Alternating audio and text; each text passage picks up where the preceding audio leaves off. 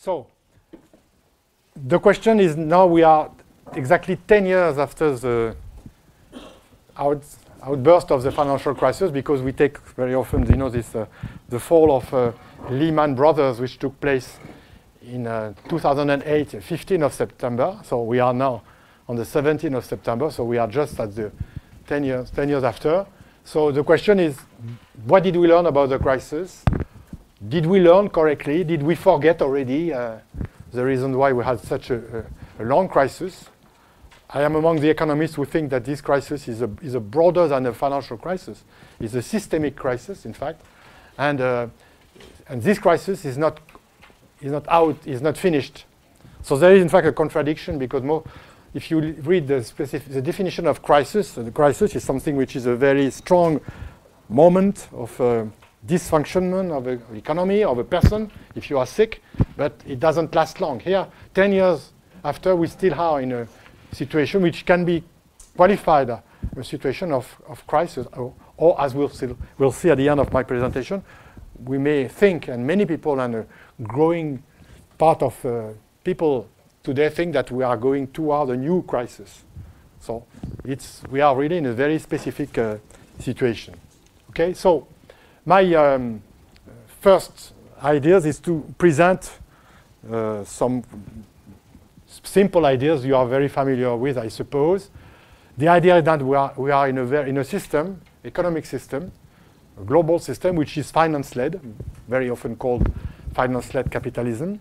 And it's also a global system. In other words, we when we think about the economy, in particular about finance, today we, ca we cannot think only on local, regional, national terms. We have to think in global terms if we want to understand what's going on. Okay, and uh, according to me, and these ideas will be helpful for the, the rest of the presentation.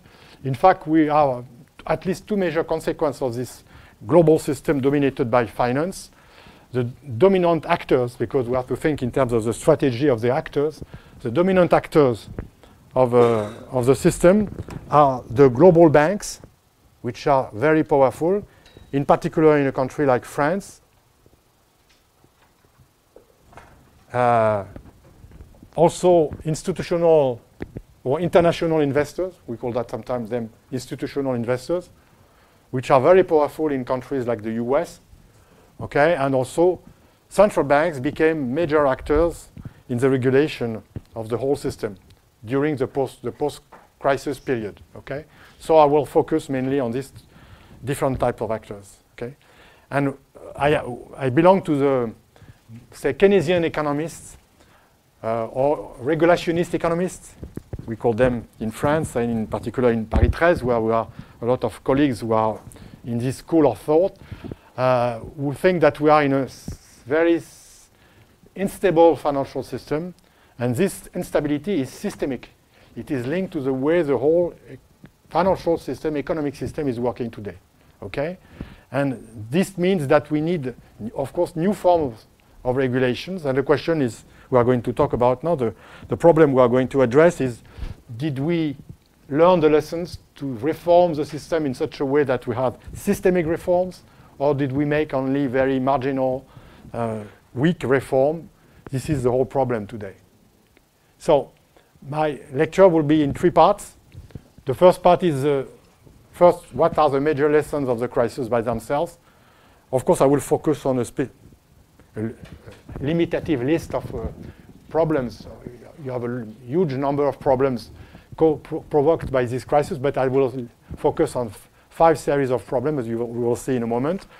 Uh, I, will, I will present the, the major reforms which took place to, in, view of improving financial regulation and uh, trying to, uh, to have a more stable system, financial system.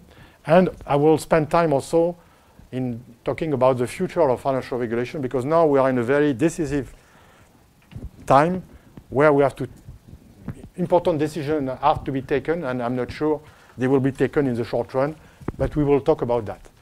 In doing that, I will uh, talk as an economist, but also as a doing, we need to do what we call science politique, political science.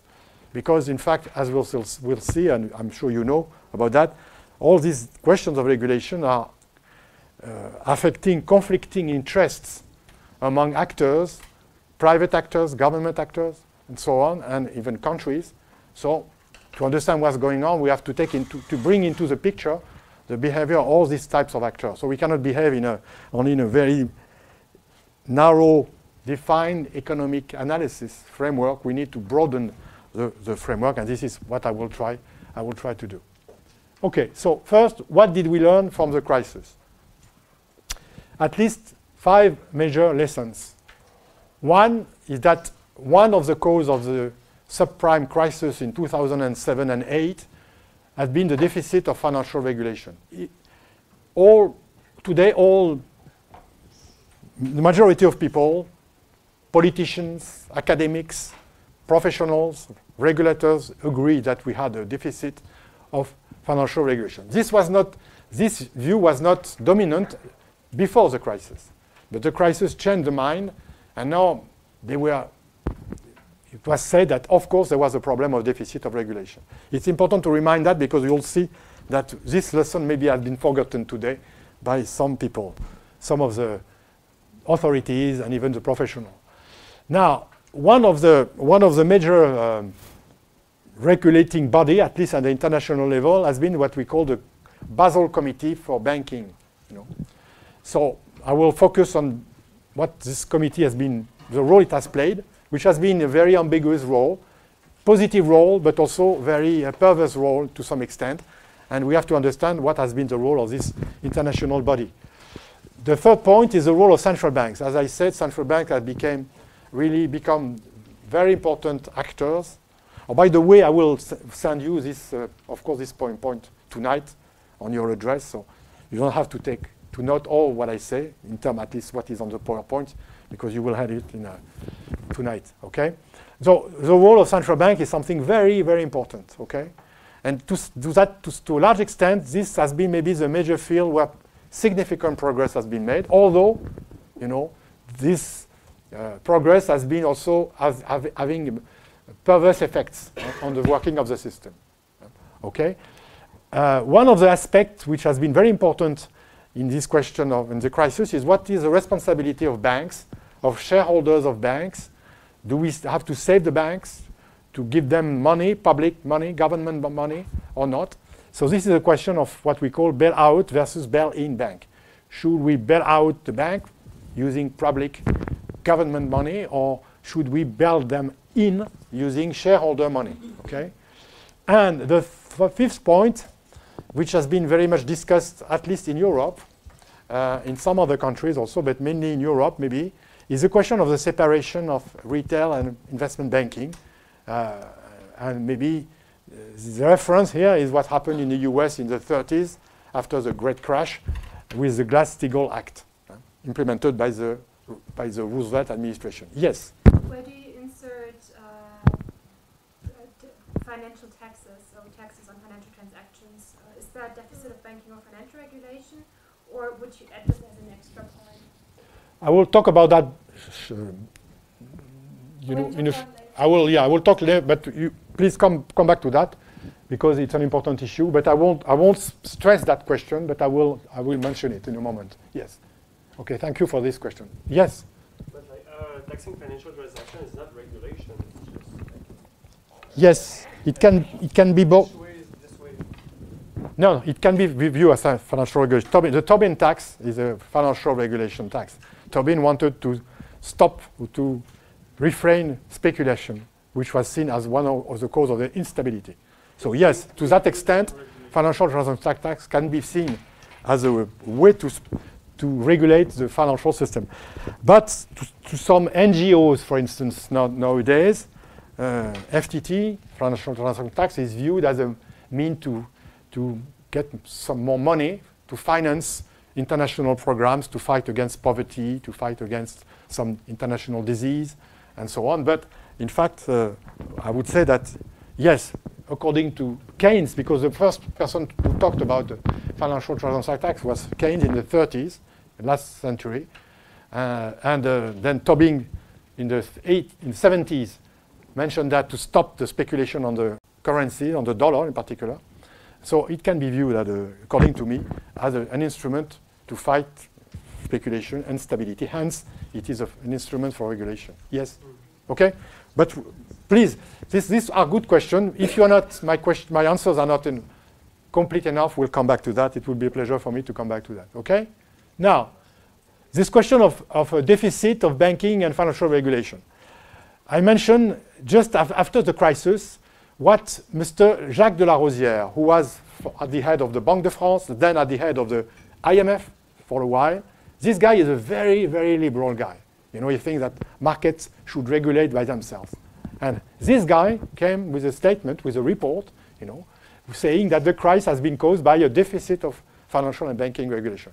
It shows that among the elites, among the, the supervisors, they took you know, the conscience of the fact that regulation was important and there was a, a, an insuffi- insuffi- de- deficit of regulation.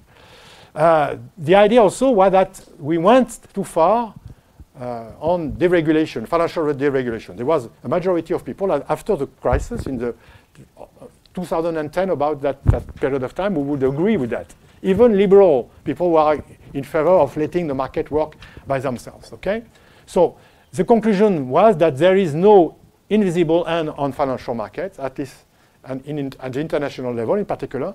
The market efficiency hypothesis can be criticized because its conclusion is that the financial markets are going to converge to an stable equilibrium state which is optimal. All these results can be very much criticized because it's a, the, this efficiency market hypothesis is an interesting view because it's a way to represent financial markets, but it is very far from reality. Okay?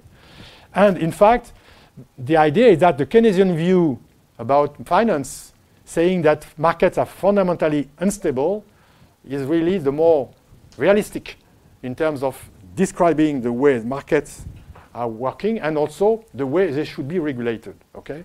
So today, of course, there is always these two ways of representing finance, finance the liberal market efficiency view, which is, by the way, unfortunately, the most important chapter in most uh, finance course in most university. If you go to U.S. university, we, are, we, are, we, have made a, a kind of survey about that recently. Or in France, in for instance, a university like Paris 1, Dauphine, which are very supposed to be very uh, up to date with respect to uh, economic theory, in particular with uh, finance, they spend a lot of time presenting this hypothesis and not so much the imperfection of mar- financial markets and also why the financial markets are fundamentally unstable. So there is a, I would say, a theoretical, two major theoretical views, and uh, unfortunately, because the crisis showed that they, they are wrong, the market efficiency hypothesis is still dominant in most uh, lec- lectures and courses you know you can have in, in, in universities.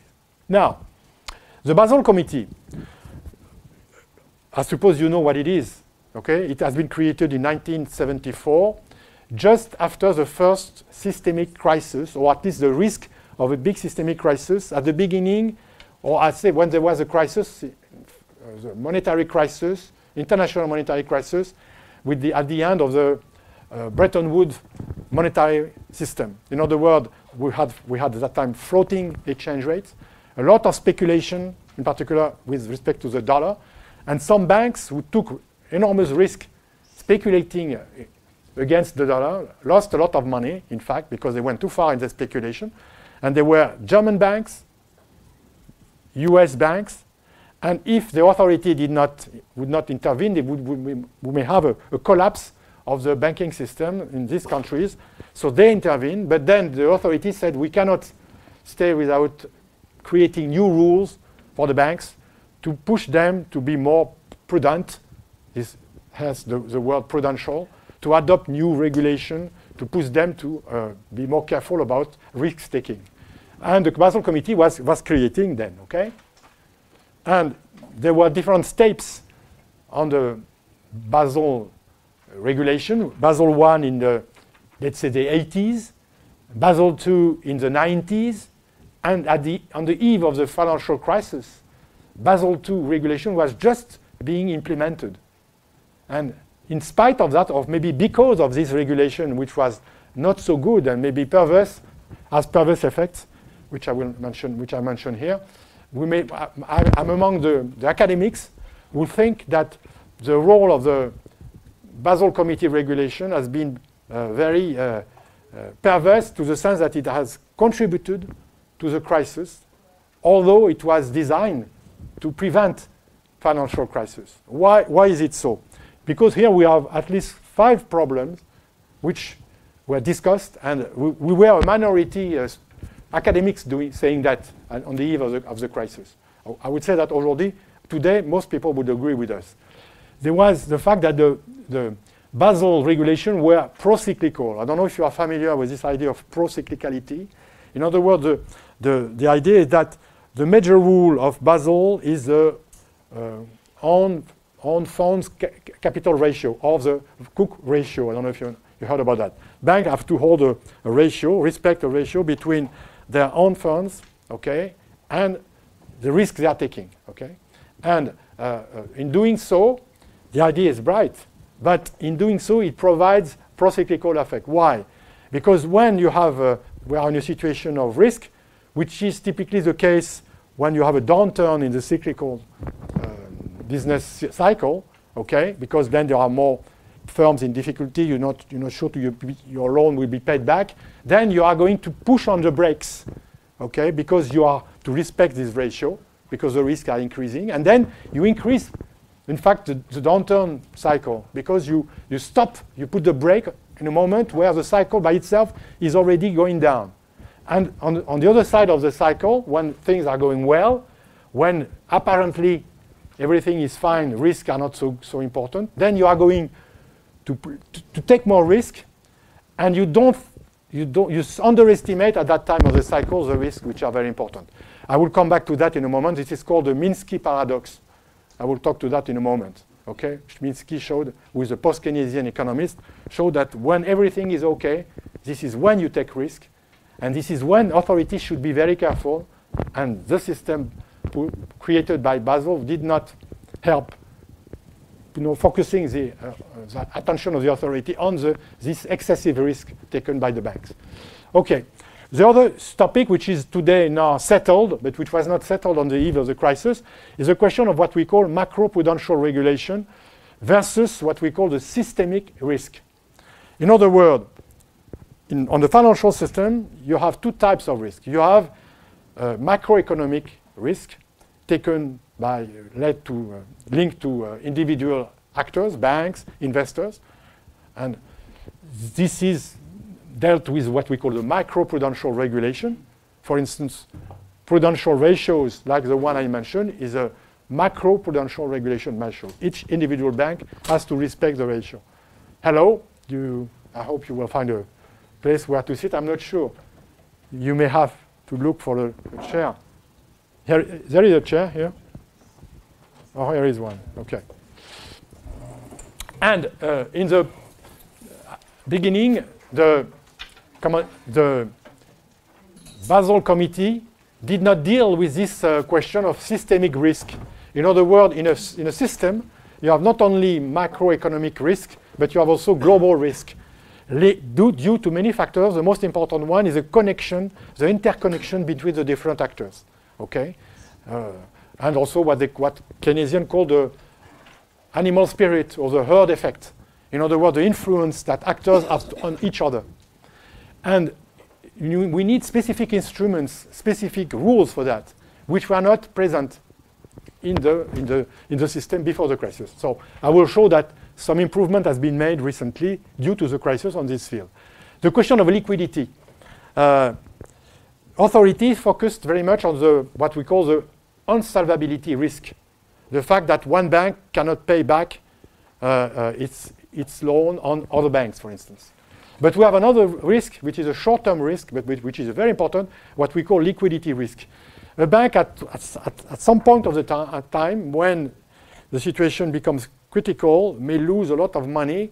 For instance, depositors are taking back their money, and the bank have no more liquidity. It doesn't mean that the bank is not, is not solvent, but it cannot pay back on the short run other banks that, for instance, that it has to pay back. So these liquidity risks were completely absent of the Basel system. So this was one of the major causes of the crisis also. I'll come back to that also.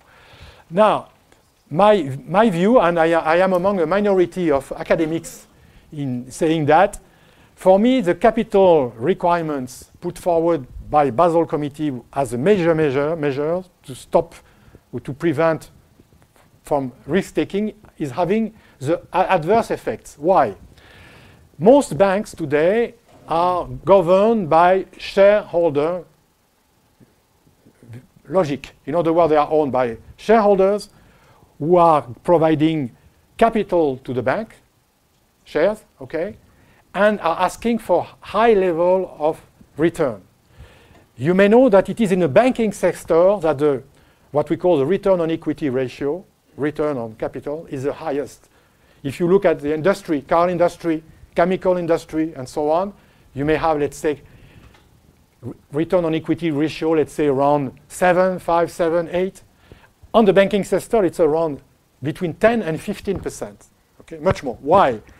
I don't know why. It's very difficult to explain that. One of the reasons is that the pressure exerted by shareholders on this sector is very high, is much higher than on other sectors, on on the managers of banks. And the managers of the bank are asked to yield around between 10 and 15% of return. You cannot yield such a high level of return without taking risk, important risk.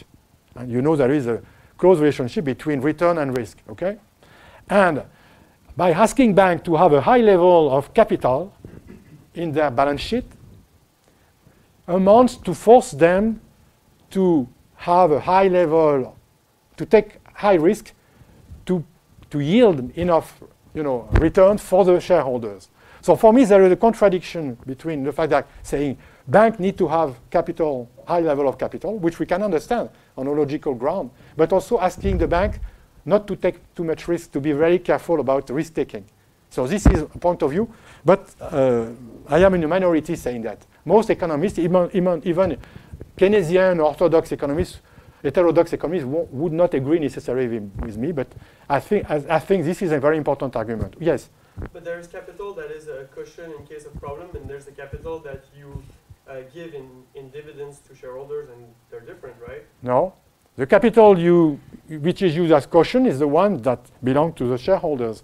And then you have to, to, to pay back your shareholders by dividends or to buy back actions or shares also to, to raise the, the level, the price of shares. But this capital, what we know capital basically is shareholders' capital. Okay? So this is, a, this is a, a problem. And one of the consequences of my analysis is that we need other complementary prudential instruments beside capital requirement. I don't think, I don't say that capital requirements are not a good instrument, but we are pushing capital, the Basel Committee is pushing too far the logic of the capital requirement. Okay? And in the Basel III, we'll come back to that in a moment, reform after the crisis, they still decided to, high, to raise the level of capital requirement, and for me it's a problem. Yes? If I remember correctly, then the, the overall, overall effect of the Basel 1 and 2 and, and 3 is that even though there were um, like changes, um, overall the capital requirements decreased significantly since the early 80s. Decreased what? The, the capital requirements decreased no, no, since the 80s. No, the, if we judge on, on, on total. I mean no, no, no, no. No. The capital requirements in all reforms have been increased. Okay?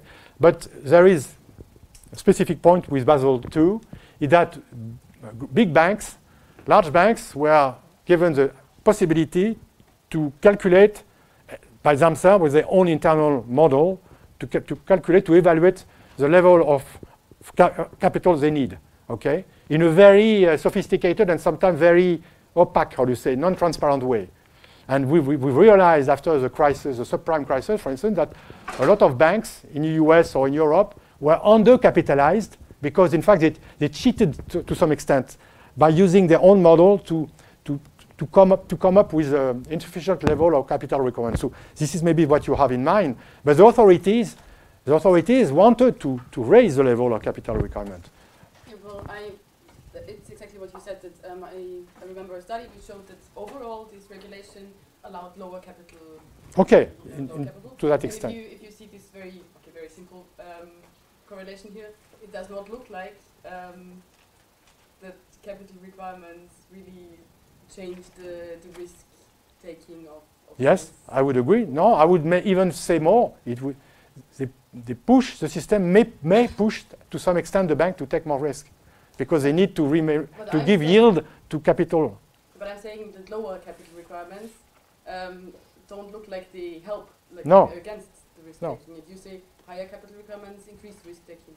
Yes, because officially banks were asked to have more capital requirements. But on the other hand, they were allowed to evaluate themselves the level of capital they need. In fact, they, the large banks, which is not the case of small banks, by the way, large banks will have the, the money, the teams uh, to, to calculate this and to, to have this internal model, were able to, to make the, what we call the weighting, the ponderation of the risk in their own ways. And after the, the, after the crisis, we realized that the bank did not, you know, have the, respect the rule really, because they were tended, they tended to underestimate risk. They use model um, uh, very sophisticated, which are in fact were very difficult to understand for the authorities. But after the crisis, we realized that these models were not were not good models, and they were they were based on very critic, very uh, how do you say critical uh, assumptions, which were not very uh, which are which today uh, uh, would not be accepted because at that time the, the authority could not they, ge- they give too much freedom to the banks in to some, to some extent. Okay. Yes. I'm still confused because I see a difference between uh, reserve requirement and dividend payments. Whereas dividend payments are risky and um, reserve requirement are a cushion, so they're safe. Okay. Uh, what do you mean by reserve requirements? Well, this ratio that you say ba- bank have to keep in order to be safe. in With ratio with what? Huh? With ratio with what? What, what are the two terms of the ratio? um, money lended with money in reserve. Okay, so this has something completely different. We have the reserve requirement, usually based on deposits, Yeah. okay, that bank has to hold to have a ratio between the deposit they collect and deposit is short-term money, which has nothing to do with capital, long-term capital, like capital here. So this is something which the central banks are using to regulate liquidity, but has nothing to do with uh, with the risk risk or with the question of solvability in the long run. Okay, capital requirement is supposed to, to be on that side of long-term solvability requirement. Okay, Do you, is it clear? So I was not, uh, I I had not the right ratio in mind. Yes. So what is the ratio you are talking about?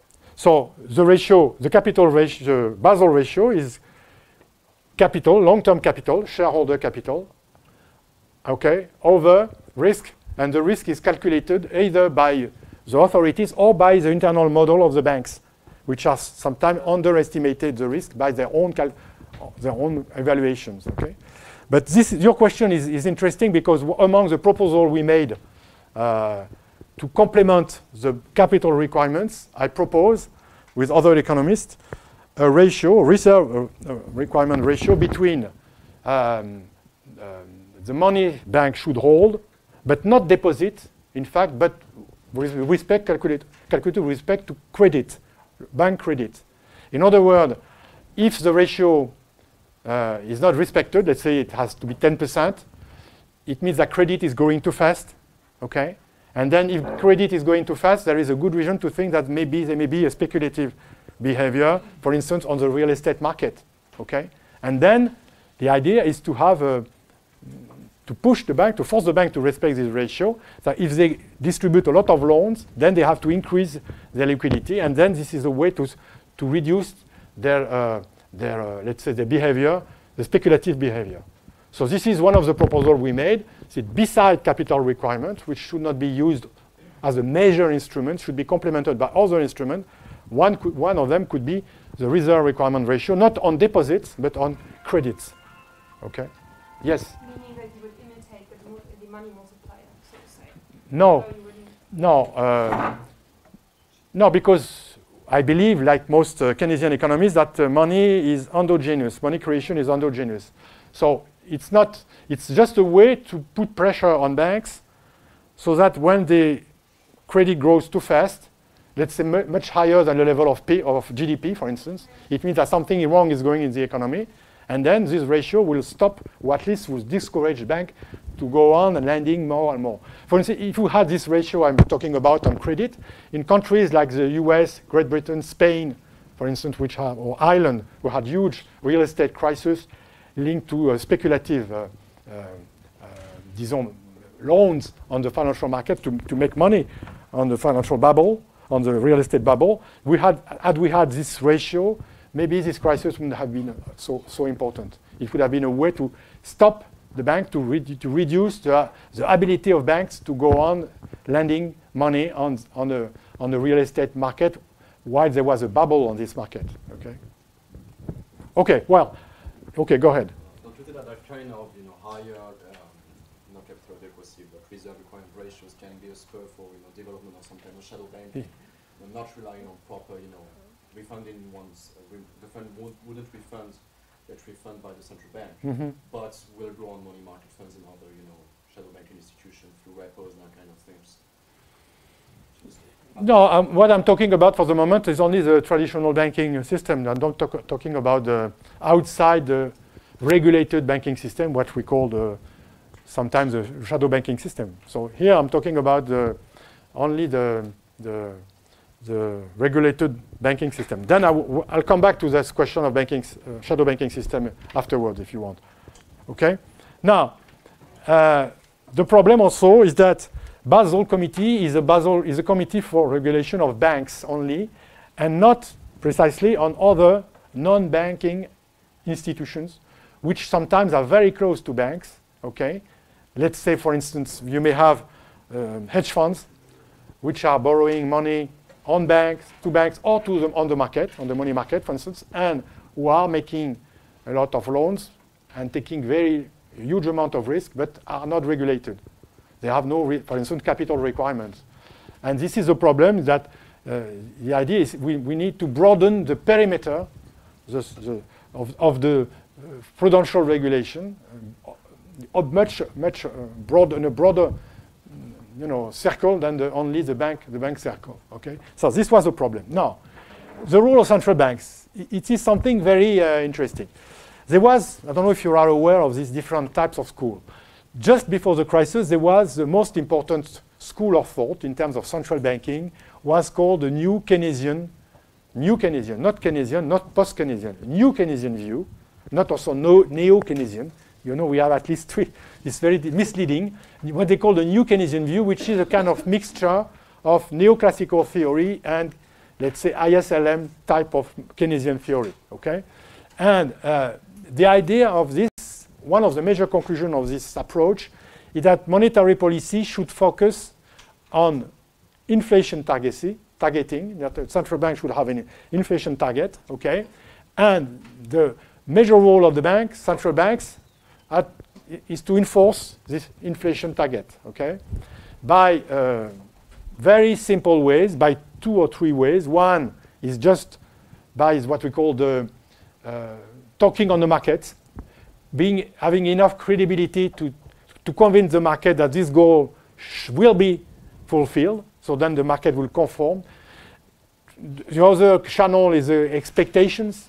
In other words, to be able to influence expectations of the actors, firms, households, and so on, that the rate of inflation, the future rate of inflation will be, will be the one which is, which is uh, uh, set by the central bank. And so it's a very tricky and very specific way of saying that let, let, we are a central bank, we have a lot of credibility, we are independent, and if we say that next year inflation will be 5%, it will be 5%, okay? Influencing expectation, talking to the market, putting a level of interest rate on the money market to the correct level and so on, okay? This was the, the, the, doctrine, the, the doxa, the, the, the approach of uh, the logic of central bank before the, uh, the crisis, okay? And in that, in that um, domain, in this view, central bank, there was what they call the separation principle.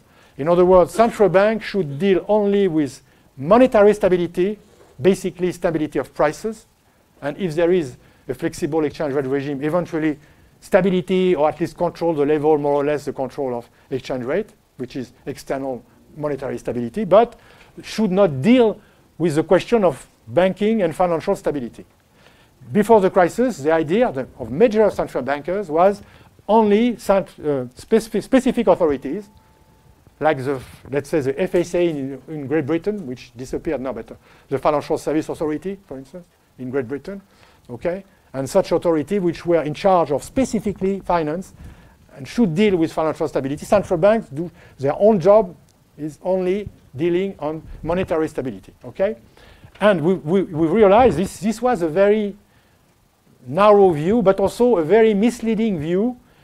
To some extent, this view led to the crisis under, a, a, a, if you use a Keynesian crisis, a Keynesian framework. You remember the expression of great moderation. The great moderation was a period of time at the end of the 90s until the crisis, about 15 years, where the, the world economy was behaving very well in the sense we had a high level of growth, not only in emerging countries, but also in so-called advanced economy, the US, Europe, uh, Japan. No, Japan was an exception because it was, the country was already in trouble. But the situation was fairly good. Not only high rate of growth, but also low rate of inflation. A lot of economists, new Keynesian view economists, saying we have found the rule, we have found a way of regulating the world economy. Look, we have a great moderation. The Minsky post-Keynesian view is completely different, and the crisis showed that it was right. The idea is that when you have a situation of stability, apparent stability, where the expectations are very good in terms of growth, in terms of future returns, and so on, this is when you are going to take risk, what I was saying. And this risk taking will lead at a moment to another to a crisis. Another uh, idea put forward by another economist who is Claudio Borio, who is a post-Keynesian economist working at the BIS, Bank of Internal Settlement, which is in, also in Basel. He called that the credibility paradox, which is not so far from the tranquility paradox. What is the idea? At the time of the Great Moderation, the credibility of central bank was very high. So most economic agents, firms, households, and so on, were very, very optimistic and very confident in the future. And this led them precisely to take risk. In other words, when you have the perception of a high credibility of central banks, this is when economic actors are going to take risk, okay? And if you take too much risk, at some point you will pay for that because you won't be able to pay back your loans. You will have a lot of uh, uh, losses, for instance, and so on. And then this is when the crisis is coming. So this idea of Minsky tranquility paradox, Borio's credibility paradox, today a lot of economists, Keynesian or not, think it's a good idea. I remember, for instance, Trichet, who was at the head of the central ECB at that time, okay, was writing or making declarations saying Minsky was right. I, I could not believe him. You know, when I read the, this, this declaration, I was really very uh, surprised. But in fact, he realized that the problem is that the, the, the moment, what we call that the Minsky moment sometimes, the moment where we should be careful in looking at the risk-taking behavior is when the situation looks apparently very good. Okay? Okay? So this is something which is very interesting. But uh, it, the, demonstration will go forward. I will. The idea also we made a survey in the late 90s about uh, among central bankers. When I say we, uh, French economists, huh, uh, central bankers in the world, and also economists, academic economists, professional economists working in banks, and so on. And we asked them the following question: Did the Great Moderation led to an underestimation of risk? Okay, after, this was asked after the crisis. Okay, I'm sorry, I said in the 90s we made this this uh, survey after the crisis. Okay, just in 99 or something, 2009. 90%, we 91% of ba- central bankers and economists said yes, yes, yes, yes. In fact, when we have a great moderation, when everything seems to be okay, this is the time where you have a lot of risk taking. Myself, at that time, I was doing some empirical work on spreads. You know what is a spread? It's a gap, interest rate gap between risky bonds, for instance, and non- non-risky bank, let's say bond, government bonds with respect to corporate bonds. I was, or between countries, let's say Greece versus Germany, okay, government bonds. At that time, if you look at the spreads, there was no spread between the Greek bonds and the German bonds. Almost no spread. The spread, as you know, is a measure of risk. No spread between government bonds and corporate bonds in, let's say, um, new technologies where you have high level of risk sometimes. Which means that this is, a, this is a proof, this is a measure of the fact that there was an underestimation of risk in that time. Okay, so this is a very interesting thing to to to be aware of. And here is now our, demo our, our demonstration. In fact, uh, the idea is that we think that central bank has a too narrow conception of their mission, limiting to monetary stability. And in fact, the idea is that there is an ambivalent relationship between monetary stability and financial stability. On, in, in, in fact, when you have monetary stability, this does not need necessarily lead to financial stability. On the contrary, due to the Minsky paradox, because when you have monetary stability, you may have risks, a lot of risk taking. So the, the mistake made by central banks and a lot of people at that time is to think that during the Great Moderation, since there was monetary stability, since there was growth, there was no risk of financial instability. It's exactly the contrary which happened. Okay, so we said we, we have a very complex and um, going in both directions, you know, relationship between monetary stability and financial stability. And this is why we think that central bank, we wrote, and that we wrote a paper just after the crisis, a group of uh, French economists on that, on that topic, saying central bank, we should abandon the separation principle. Central bank should deal at the same time, you know, with monetary stability and with financial stability because, because the two are linked and in a very complex manner which needs to be taken into account by the central bank. Okay? So among the, the other proposal about central banks, there was the idea that central bank has a major function, which is, as you know, the lender of last, last resort function, LLR. Okay? But the question is, what should be the scope of this LLR function? Should it be limited to the saving of banks, lending money to banks only, or should the central bank go also on the financial markets, okay? For instance, for instance, lending money to the government by buying government bonds, okay? This was a big, a big debate, okay? This was a big debate, and the US central bank, the Fed, was the first to say, yes, central bank has to go on the financial market to buy government bonds, okay? Whereas in Europe, uh, the ECB with Mr. Trichet at that time and then Mr. Draghi didn't do that. They, stopped, they limited their uh, interventions to the banks and didn't go on the, on the, uh, on the um, government bond market. Why? Because this is due to the way the monetary zone is working. In the monetary zone, and in more broadly in the Europe, European Union, we have a, what we call a no bailout clause, which means that a government should not be helped, saved by another government. It's too warm. Yeah, why don't we, why don't we open this uh, windows? Maybe we don't need to have the, yeah. Let me do it. Oh, okay, okay. Maybe you can do that also this way, through the other window. Oh, we have, look, we have some, some fresh air coming. Okay. It's okay? Even if you cannot open the window, at least you can open the store. Well.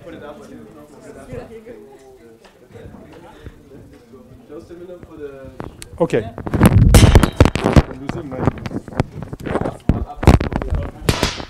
Okay, and then you open.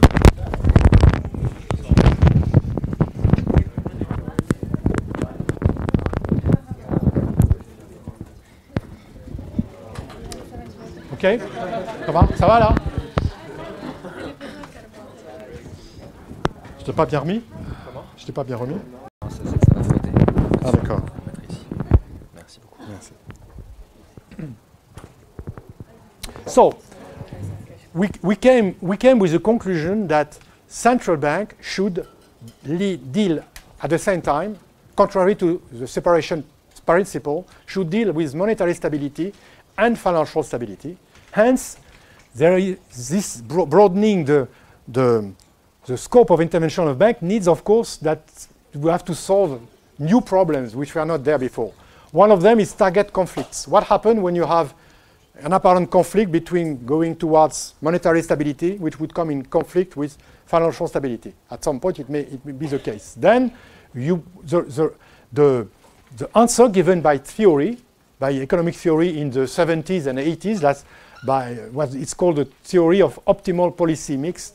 The idea is that when you have at least two, two targets, you need to have at least two independent instruments.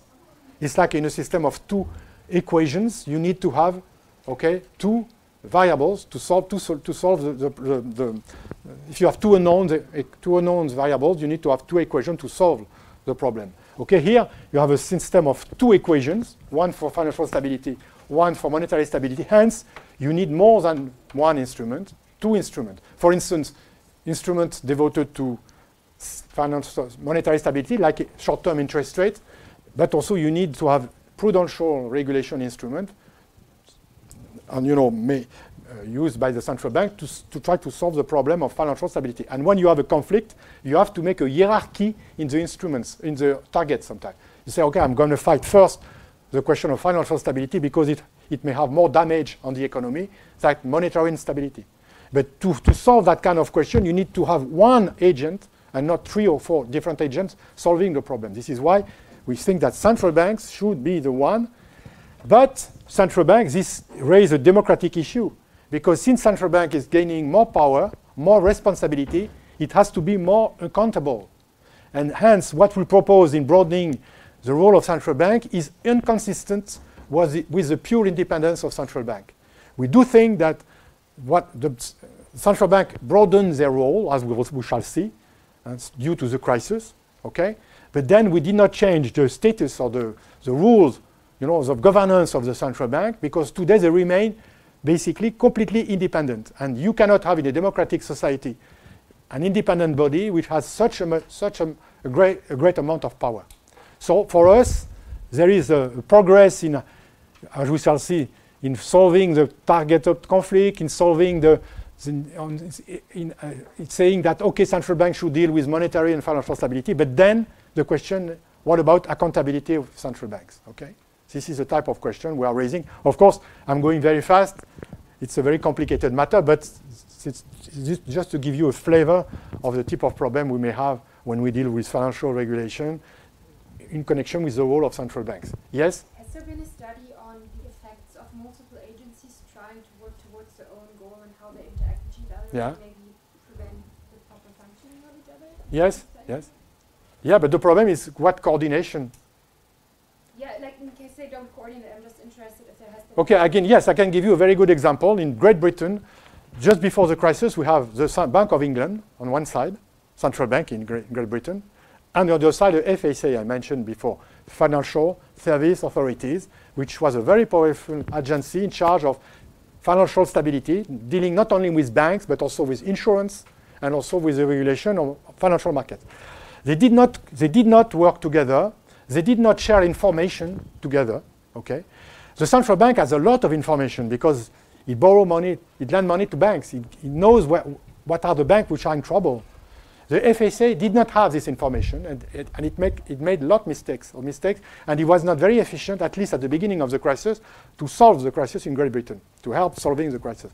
And now they, they abandoned this idea. In fact, the, the idea was abandoned, and uh, now there is a, a, a the, great, the Bank of England is very is, is taking has taken back a lot of uh, uh, a lot of responsibilities in terms of financial regulation due to that because there was too much separation, no coordination. But even if there is a minimum of coordination, uh, you may have problem because you need at least a good amount of coordination. In France, we had a specific system, which not necessarily the best one, but was better than the British one. The agency in charge of financial regulation uh, is in fact um, connected to the central bank, the, Banque de France. In other words, the, it, it, are, it is people from the Banque de France who are working in this agency, okay, and they have a good, they communicate very well, the two agencies. Although central bank, the Banque de France, saying that this agency is supposed to be independent, to my, to my view, it's not independent. It has some autonomy, but not independence. This is the solution given by the French, the French authority. Each country is different. If you go in Japan, if you go in the UK, if you go in the US, you will have different solutions because the institutions are different. Okay, but the worst case, the worst situation was the British one, just at the outset of the of the uh, of the crisis. And Gordon Brown, was the the one who decided to have these two institutions, Bank of England, the FSA separated, was a go- very good uh, Minister of Finance, by the way, was not the worst one we, the British had. And then was Prime Minister when the crisis came.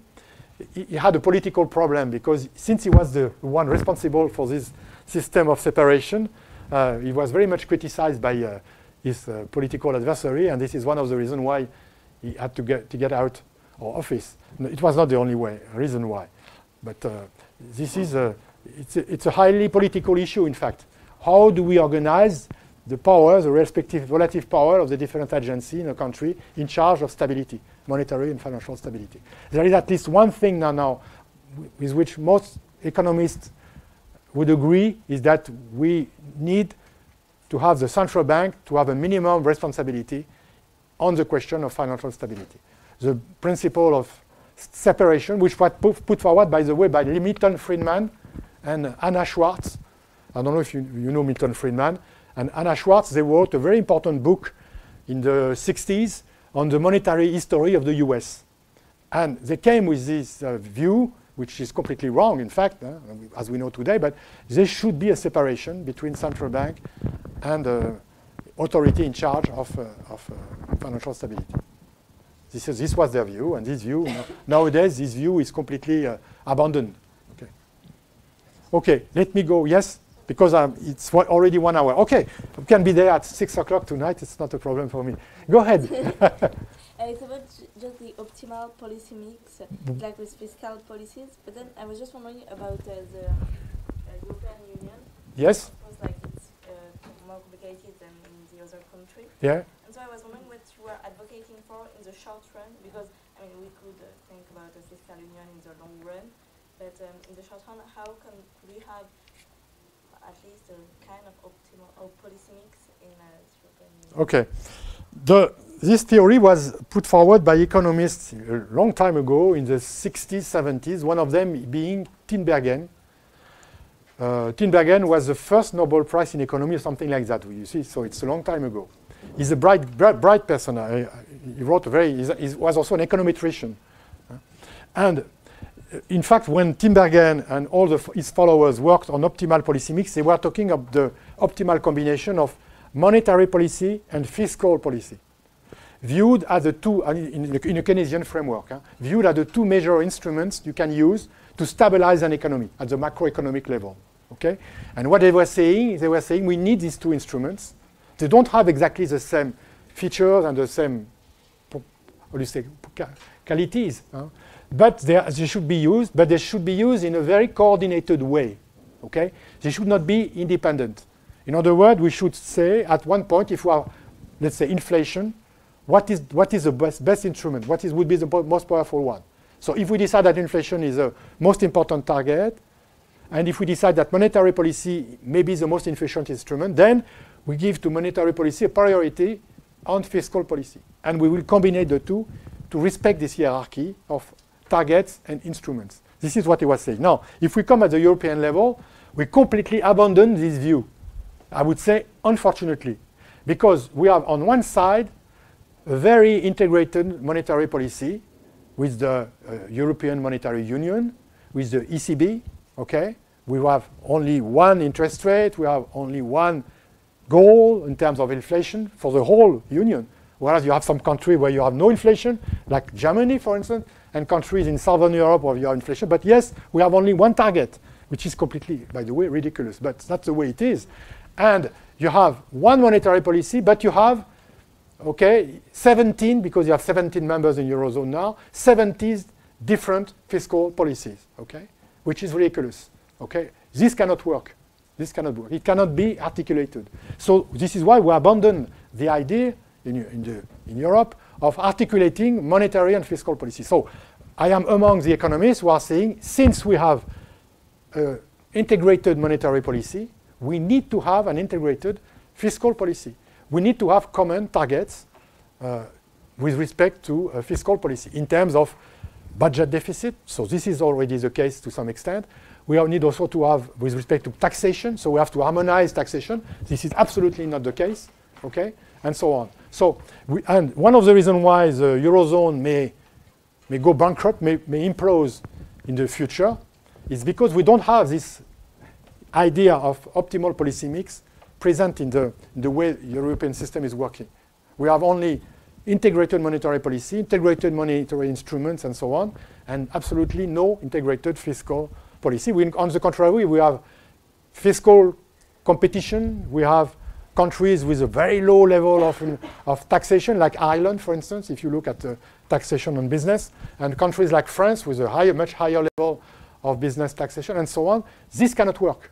So we have to decide. And since we have decided that the subsidiary principle, subsidiarity principle, that is the, the decentralization, maximum decentralization should be applied to fiscal issues, we cannot have this integrated policy. And in, and in Europe, there is a very dangerous rule, which is a rule of unanimity for respect to the fiscal issues.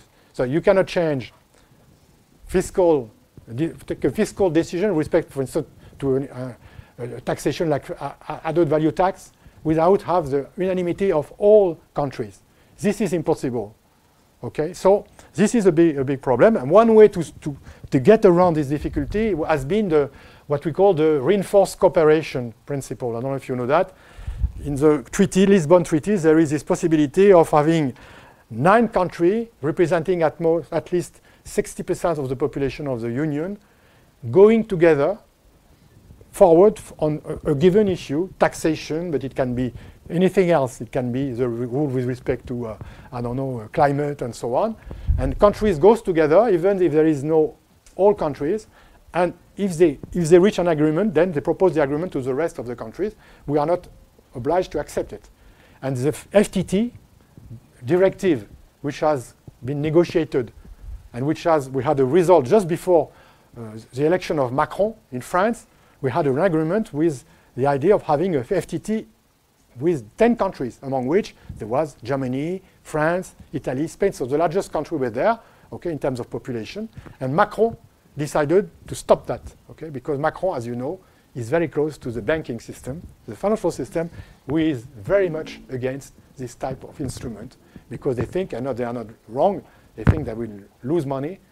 They will not make as much money on speculation, for instance, if there is that kind of instrument. Okay, so to, to, just, I, I, saw your hand. Uh, so I would say to answer your question, in Europe, we have no optimal policy mix with respect to monetary and fiscal policy, but you can apply this principle also to the articulation, this is what I, I was doing, between mo monetary and, and, monetary and financial policy. And this has been done to some extent after the, the crisis. Yes? Uh, yeah, uh, such policy mix, if you integrate it European-wise, it makes some sense in terms of like financial stability, maybe in terms of uh, some capital flux, which is linked also to the financial stability. But I, I, don't really understand how it is possible to have economic activity and I don't know, maybe even growth in, in the real economy in with the same fiscal policies in countries that have industrial landscapes that are so different as like for instance, I don't know, Greece, Germany, England and France. And Good question. You have to ask yourself, what is, how do you define fiscal policy? If you take the Musgrave, very old vision, monetary policy is here to finance public goods, to make stabilization, macroeconomic stabilization, and to make redistribution, tree function of resources in a country or in a region. No. Yeah, what? A function of investment, productive investment. Yeah, if you want. Okay. Ask this one if you want. When I say in public goods, I was thinking of public investment in public goods. But okay. Now, if you accept this definition of what is uh, fiscal policy or public policy, broadly speaking, if you apply this to Europe, then the objection you, you just mentioned is not, does, not, does, not, does not work. Because let's take the case of Greece, Greece and Germany. Germany is a very rich surplus country, okay, which means that it has a high level of domestic saving. Greece has a high, the poor country compared to Germany, with a huge deficit. So no, no, no saving. On the contrary, it's borrowing every month more money from abroad. One way to solve the problem in a Musgrave or in a optimal policy view framework is to say let's let's look at Europe as a whole country, as a whole country, okay, and to make transfers on f- public, funds but also private funds to make transfers from the country where you need investment coming from the country which has a high level of saving. This is very easy to understand. And this is exactly what the contrary which is taking place. Which, if you look at the flows going from Greece to Germany, you can see that the money saver uh, taxpayers in, in, in Greece are paying now is, is used, has been used mainly to pay back the German banks, or the French bank, by the way, to pay back their, their, their debt. In other words, you have something which is completely against the, the good, I would say, macroeconomic logic, which would mean that money should flow towards the country which needs investment, which has a, not enough saving. It, it's exactly the country which is contrary which is going on in Europe. This is why the inequality within Europe are growing. B- between Greece and between uh, Germany, for instance, to take these two extreme example countries, you have growing inequality. How how this system can last? It cannot it cannot last in, uh, indefinitely in the future.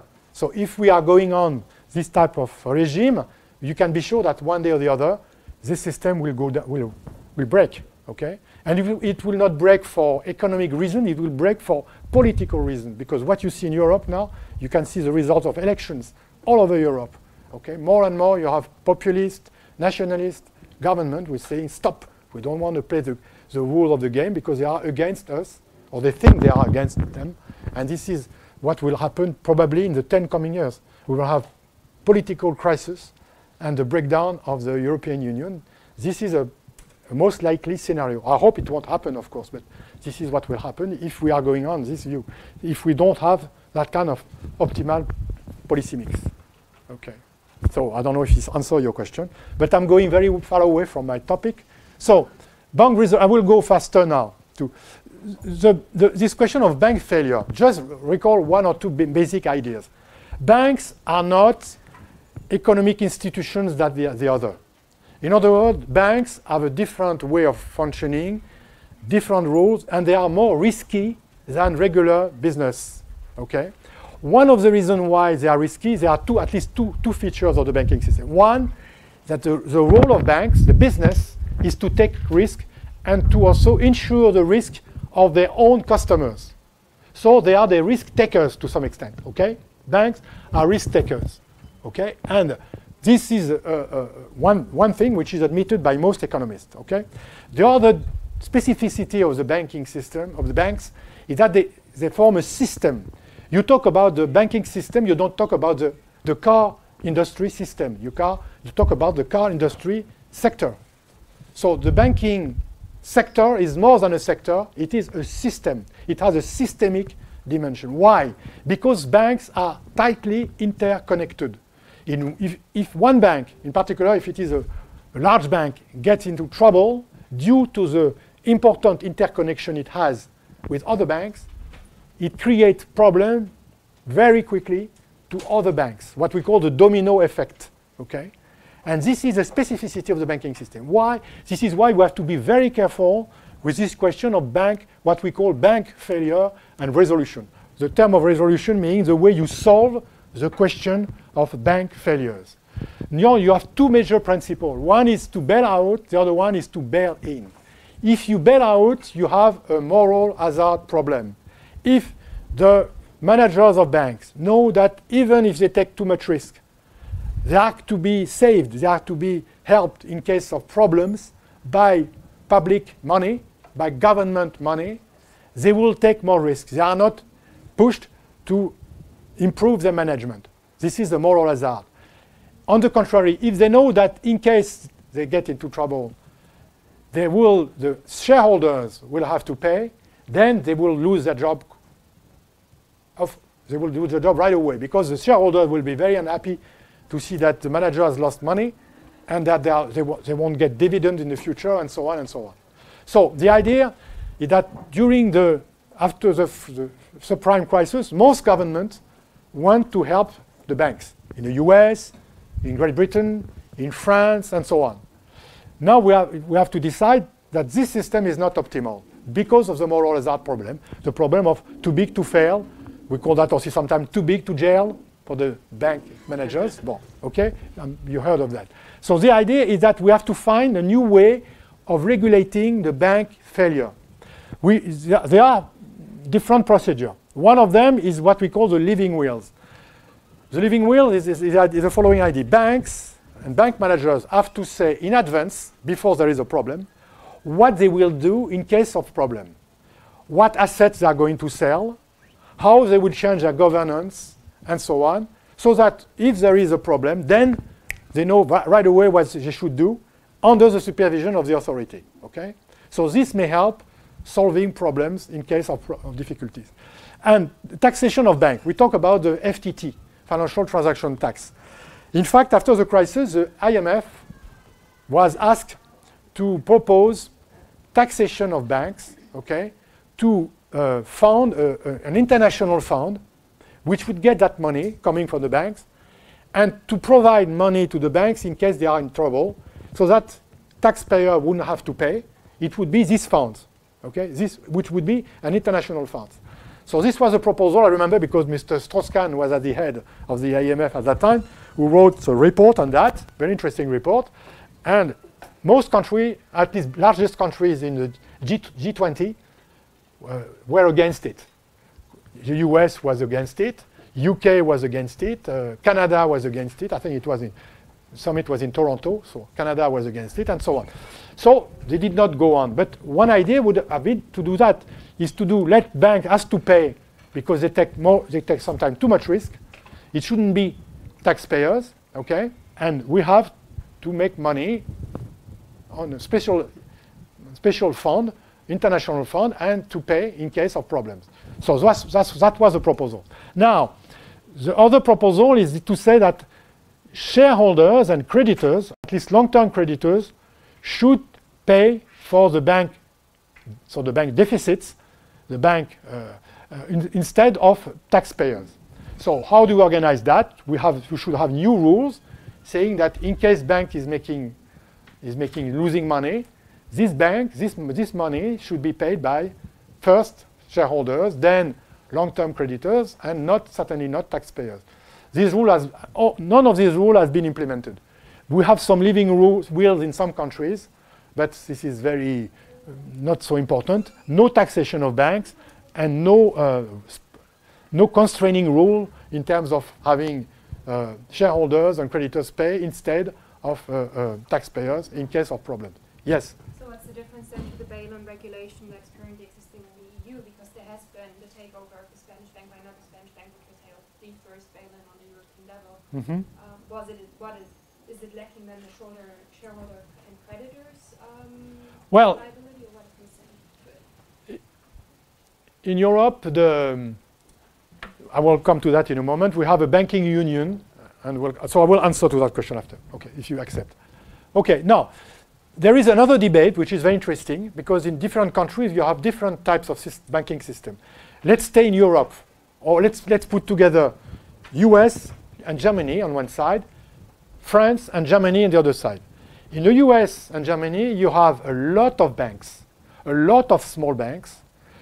If you take Germany, for instance, you have a lot of small and medium-sized banks, which are cooperative banks, private banks with shareholders, public banks, okay, and only two big, large banks, which are the Deutsche Bank and the Commerzbank.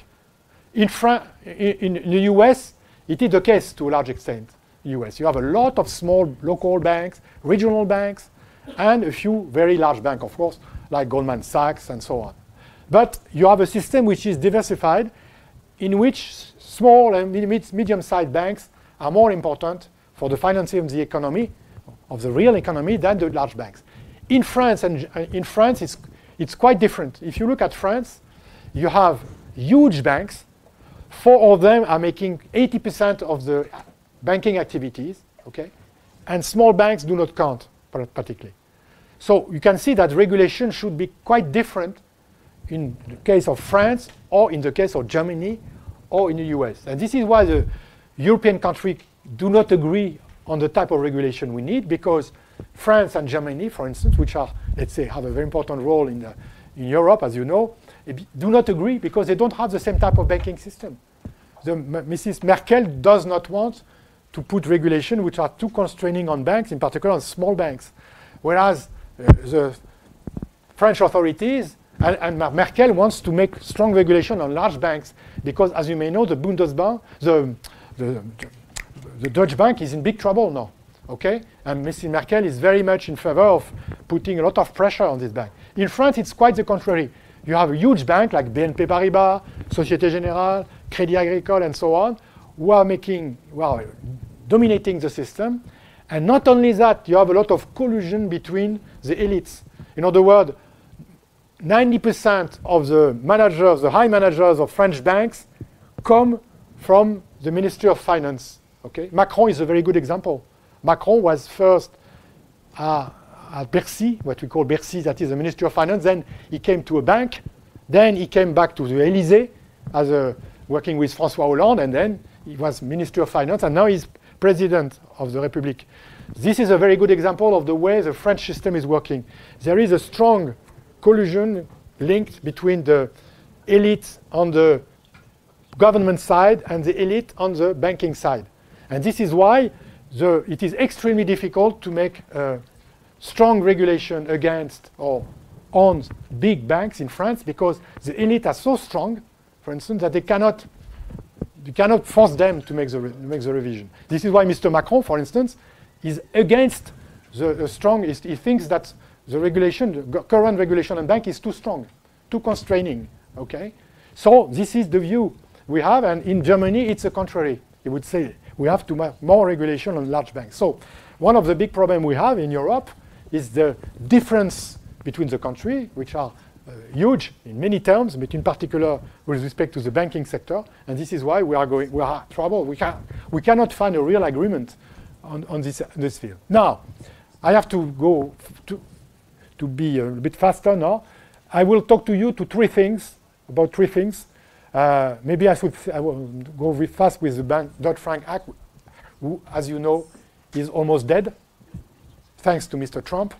But I will talk to it about, about it a f- few minutes. The Basel III reform and the European Banking Union, dealing precisely with the question you mentioned. No, the authorities in Basel they realized that the system does not work, was not efficient in preventing the financial crisis, and even probably contributed to the financial crisis, as I explained uh, a few minutes ago. Now, so we have an interesting reform, which is a progress to some respect, because the new Basel III reform deals with the procyclicity question. Okay, so they, they created what they call a contracyclical buffer in the ratio, requ- capital requirement ratio. They introduced a liquidity ratio, which was not present, so they deal with the liquidity risk problem. And also, they, uh, uh, they introduced a few more, uh, uh, a few more um, progress. The one, one of them is being, please, saying that the systemic risk is something very important, which was not recognized before. Hence, we need to uh, deal with this question.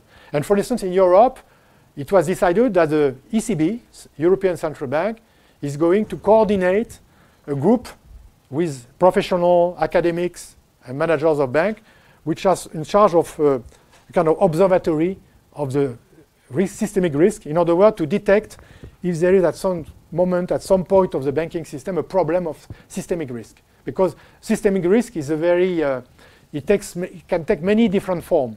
You cannot give a, a definition, a simple definition. So you have to have people who are very good experts who are able to see that at some point two banks which are for instance highly connected are in trouble and if they get into trouble more trouble they, this may create more problem to the whole banking system. This is the type of thing they are working on.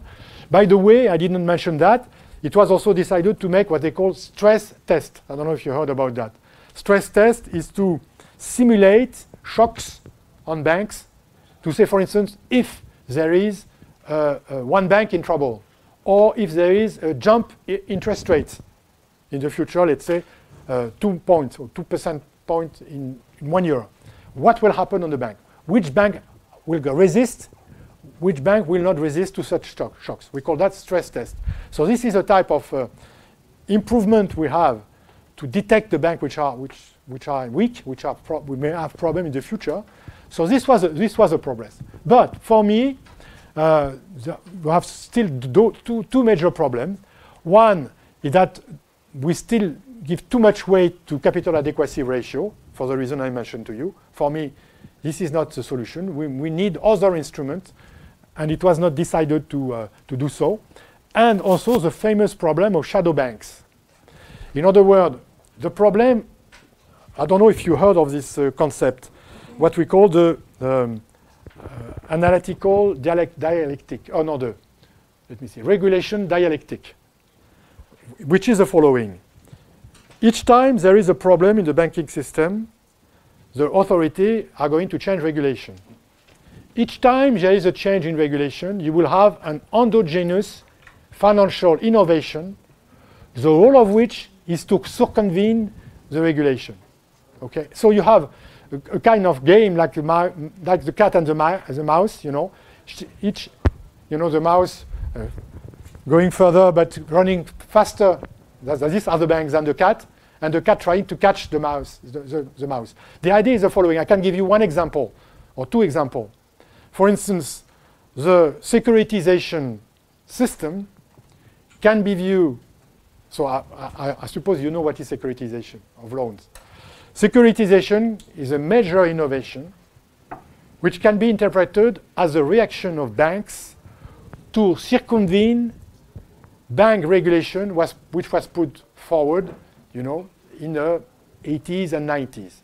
For instance, capital, capital ratios. If the risk, for instance, of lending to consumers, household, on the real estate market is deemed very high, then banks have to have on funds very high level of on funds. On funds are very, capital funds are very high, very costly because you have to, to, to give yields to shareholders, high yields to shareholders.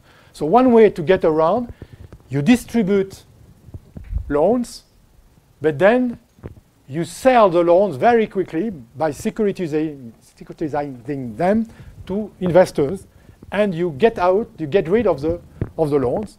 So you earn commissions, you make money in distributing loans, but you don't get, get the loan, conserve or keep the loans in your own balance sheet, which was the role of traditional banking in the, in the, in the past. Okay? So for me, one way of interpreting the, the huge development of securitization in the US, but also in, Euro, in Europe and so on, is it's an innovation deemed to that. Another example, which I will not develop, I wrote several papers on this issue also, is that the, the euro-dollar market, which was created in the 60s, so a long time ago, can be viewed as a way of US banks to circumvent the regulation of, uh, the, the Q, the Q ratio regulation, which would limit the, the money you could give to depositors, in particular to foreign depositors in, in, in the US banks. So the US bank said, okay, we are going to London. In London, they accepted the loans, the deposits, I'm sorry, the deposit, and they did not pay any tax. So they were very happy, and they could do what they want. So the euro-dollar market can be viewed, which is a major innovation, financial innovation at the international level, which played a very important role in the, particular in the instability of uh, the monetary system in the 70s, uh, can be viewed also as a result of financial innovation meant to circumvent, to avoid uh, a, a regulation. Okay? So the big problem, let me finish. The big problem we have now is that each time the authorities are going to put forward new regulations, you can be sure that there will be new product, new process, and one of them today, one of major, can, can takes the name of shadow banking system. The shadow banking system, which has been developed a lot in many countries, not only in the US, in Great Britain, in France, in, in, in Germany, but also in China, as you may know. This system is a system of operation outside regulated system. Okay, so one way to circumvent, to avoid official regulation, in particular prudential regulation, is to make your operation outside the regulated system, and this is what is called the shadow banking system. And today, one of major threats to the stability of the not only the European but the world financial system is this question of the shadow banking system, which is a system which is not regulated at all or very weakly regulated, and which may be the center of the next crisis. Okay, so this is a problem. Yes. So which institutions do you include in the shadow banking system? Uh, okay, so you have many. It's a huge variety of, of uh, institutions. The most famous, I mentioned already before, is the hedge funds. But you would find all type of what they call in, in official statistics, in official documents, non-banking financial institution. Non-banking. So you may have a lot of investors. You may have also a lot of uh, what we call financial uh, vehicles. Okay, we may be in the off-balance sheet of banks. Okay, but we, since they are in the off-balance sheets, are not regulated in the same way as operation which is in the balance sheet, and hence which can avoid a lot of prudential regulation. Okay, so you have a lot of different institutions and instruments Uh, which can be used. For instance, the derivative market, a lot of operation on the derivative markets can be can be seen as being implemented in the shadow banking system. In like a broader definition of the shadow banking system, also insurance companies and other types of funds are included. But am I wrong that there there are regulations for these kind of? Yes, you have, but weaker regulation. So- Takes, takes, take the case of speculative hedge funds.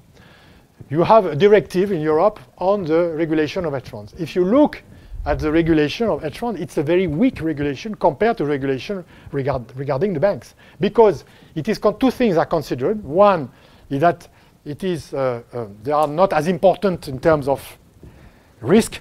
I think it's a wrong assessment, but that. And second, it is considered that there is a, a bail-in type of system. In other words, if a speculative fund is losing money, is making bank, is, is going, going bankrupt, the shareholders will lose, the creditors will lose, but not the taxpayers.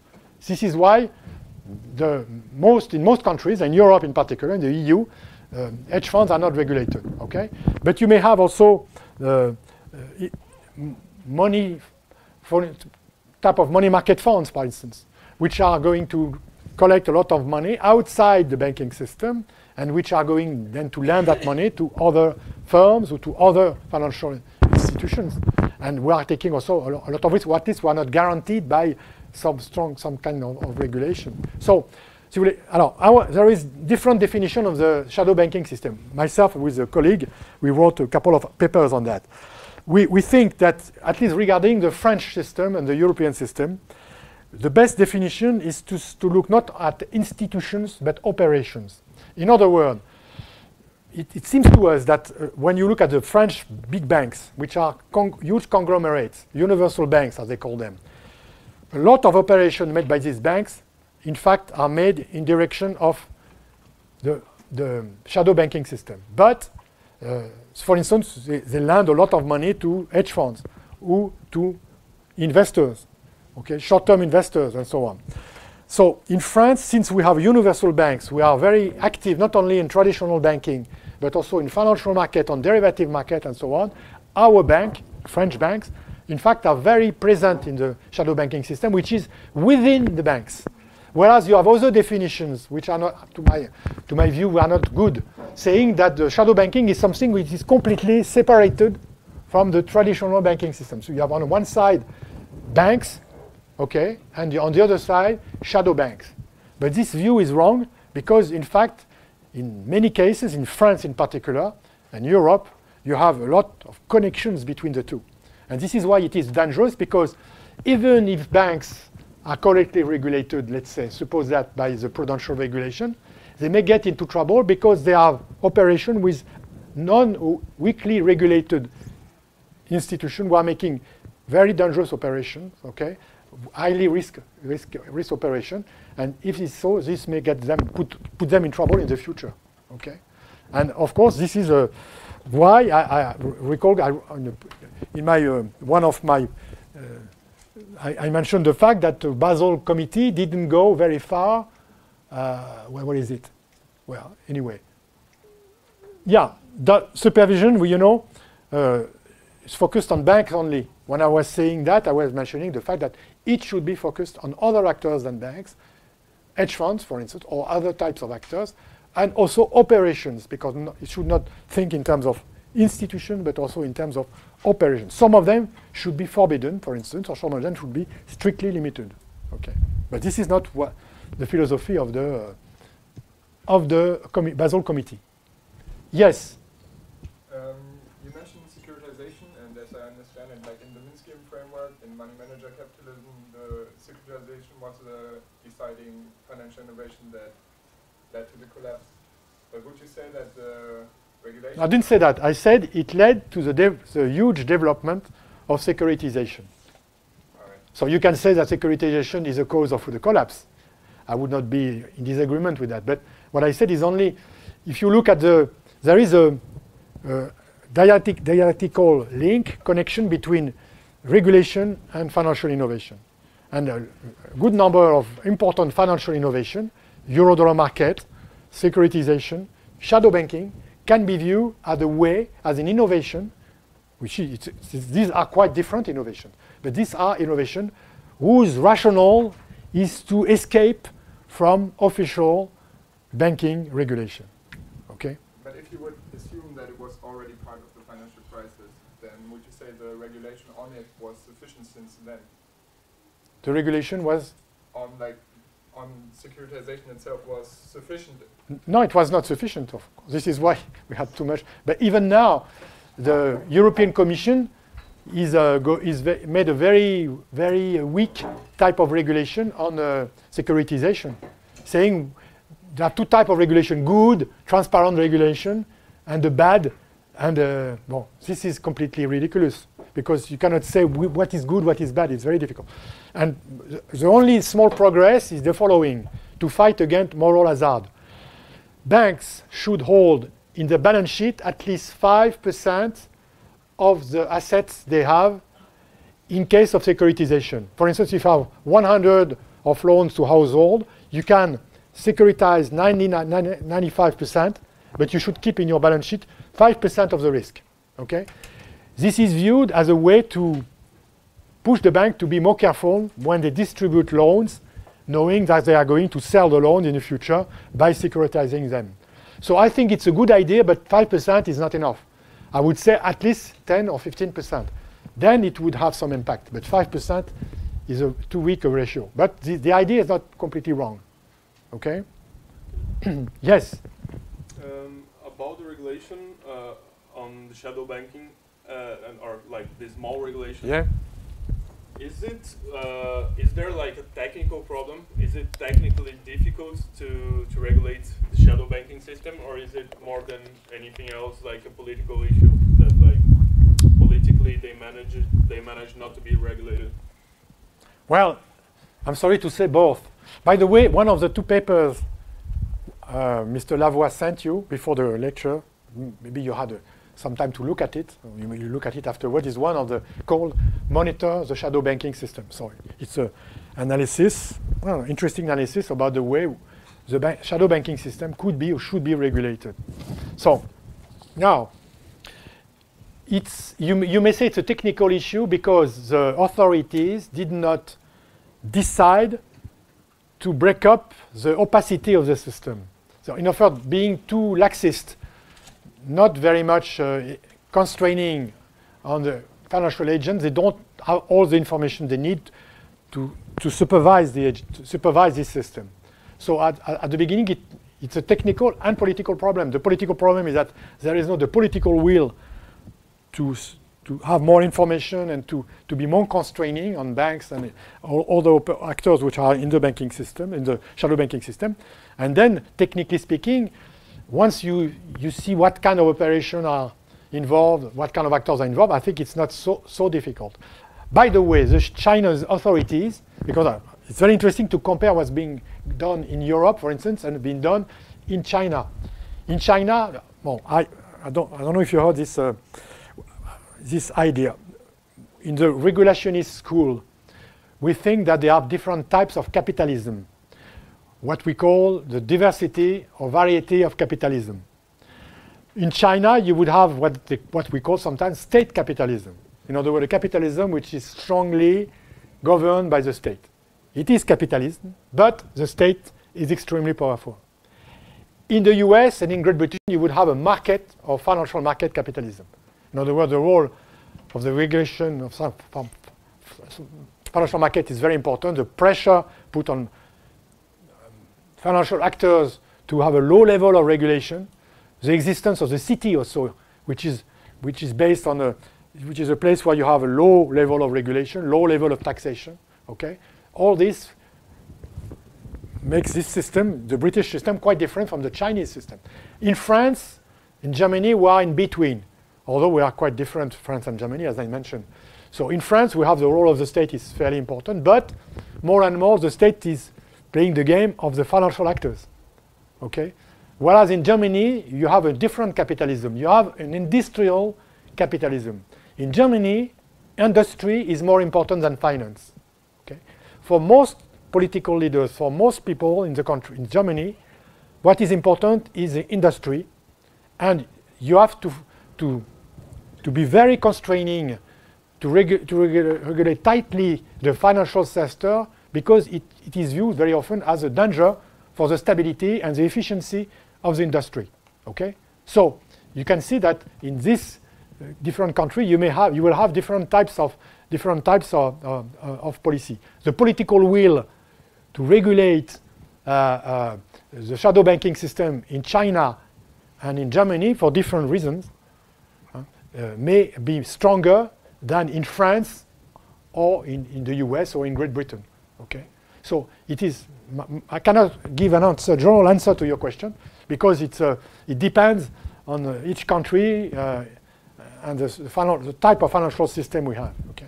In Europe, we have a continental Europe, have a, we have a bank-based financial system, although our banks in France, for instance, are financial in institution as well as bank, banking institution. But let's say we have a banking bank-based financial system. In the UK, in, in, in the US, you have a, um, a financial market-based institution, uh, financial market.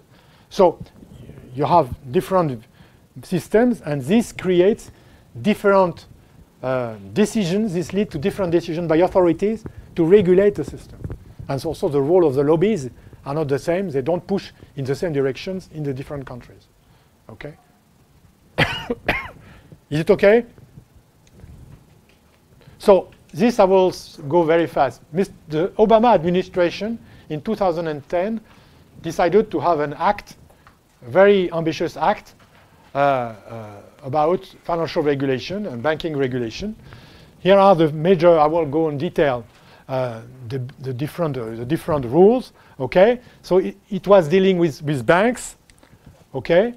Uh, I don't know if you heard of the Volcker rules about the way, the limits on the way, on the actions, operations that banks could have using their own funds. No speculation on own funds, what they call the proprietary trading. Limits on financial participation in hedge funds, which is a way to limit the role of shadow banking, by the way, because hedge funds are part of shadow banking, okay? So this is, I, I won't go into detail. You will look at that. one of the reasons I, go, I won't go into details, like Mr. Trump has decided to break down the Dodd-Frank Act. So we don't know yet what will become with this act, okay? Because Mr. Trump uh, think that Wall Street is very important. They are very close to him politically. And he doesn't want, he thinks that this regulation is too constraining. So how far will he go in dismantling the Dodd-Frank Act? We don't know. It's a, very, it's a big mess now because as you know, when you vote a, a, a, law, then you have to have a lot of uh, what we call in France the décret d'application. You know, the rule should be defined, applied in a very precise and definitive way. It takes many years. And the Dodd-Frank Act was not completely applied already. It, it's, a long, it's a long work. So now that Mr. Trump has said, I'm going to get rid of that, we don't know which rules will be abandoned, which rule will be kept. So it's very difficult to know. I'll come back to that in a moment. So now, in Europe, we had, we, we had a, a, a major reform, uh, which is called the Banking Union in 2012. The banking union is interesting. I will go fairly fast huh, because you can read a lot of papers. It's very easy to find information about that. But remember that we have three pillars, two major pillars in this new organization of the banking system. One is that the ECB, the European Central Bank, is becoming now the single supervisor of large banks. No more separation. No more separation between financial and monetary stability. In other words, the idea is that big banks, okay, and all French banks are in this case, for instance, are going to be under the direct supervision of the central bank. Okay. This is something completely different. This is a, a good progress, albeit the problem of democracy I mentioned to you regarding the, the, the, the role of the central bank. Now, we have also a new second pillar, which is a to creation of a wide European common insurance deposit system. So the idea is that now all depositors in the European Union will have the guarantee of benefiting in case of the bank, if the bank go bankrupt, be benefiting to uh, uh, uh, an insurance with respect to the deposit. Okay, up to 100,000 euro, okay, which is the limit. Okay, so this is not completely adopted yet, uh, but let's say it's in a, in, in a good way. The third pillar, which is the most problematic way, and maybe this is a question you were raising, we created, the European created a wide, unique bank resolution system. So which means two things. Common regulations at the European level with respect to bank failure. How do we deal with bank failure? And also, how do we solve, solve, the, so save the bank in case we decide to bail them in? And a, a European fund for resolution is created, okay, with European money put on that, taxation of banks, okay. But the problem is that the German people stop, well, do not, are not very cooperative on this issue because they don't want to pay for the banks in Southern Europe countries. This is ba basically the problem. Like they don't want to pay for the Greek debt, they don't want to pay for the, the, the Greek banks or the, the Italian banks, which are not, as you know, in very good shape. So, so far, the, the German is, are not very much in favor of this system, although they accepted, they, they signed for, for, the, for the European Union, but banking union, but they don't. Uh, so so far, this pillar is not is not put into effect yet. But that that's that what is that was was presented. So this is a progress clearly because we have a, a more global, homogenized, coordinated approach. Okay, but uh, there is problem. The problem, uh, I will come back to that, is the Brexit, for instance, because as you may know, a lot of European, continental Euro banks are going to London, making a lot of operation in euros, okay? And, outside, in fact, will be outside the Eurozone when the Brexit will, will come into action, okay? And Euro, I'm sorry, the European Union, okay? So we don't know yet how it will work. Uh, we did not also, there is also a big, a big failure, I mean, at least a big deception for me and for many other economists, is that the Euro European countries did not change or did not make what we call a reform of the banking structure by uh, reforming the Euro universal banking model. We had a report uh, called the Liikanen report. Mr. Liikanen was at the head of the Finnish bank, central bank. So he headed a, a report to prepare a separation of the universal banks. So the idea is to have on one side deposit banks or retail banks if you want. On the other side, completely separated investment banks, as was done by the Glass-Steagall Act in the, in the US in the 30s. Okay? The political decision was made to abandon this. As I will see in a moment, uh, we had two different commissions, the European Commission head by Mr. Barroso with the French commissioner, Mr. Barnier, uh, was in favor of separation, and the new commission head by Mr. Juncker, now with uh, other people, more liberal people, abandoned completely this idea of separation. So we don't know where we stand yet with respect to this question of uh, reform of bank, bank structure, but I'm afraid that this idea of separation has been abandoned. Now, let, let's go in the third and last part of my presentation. That's okay? let's go on the future.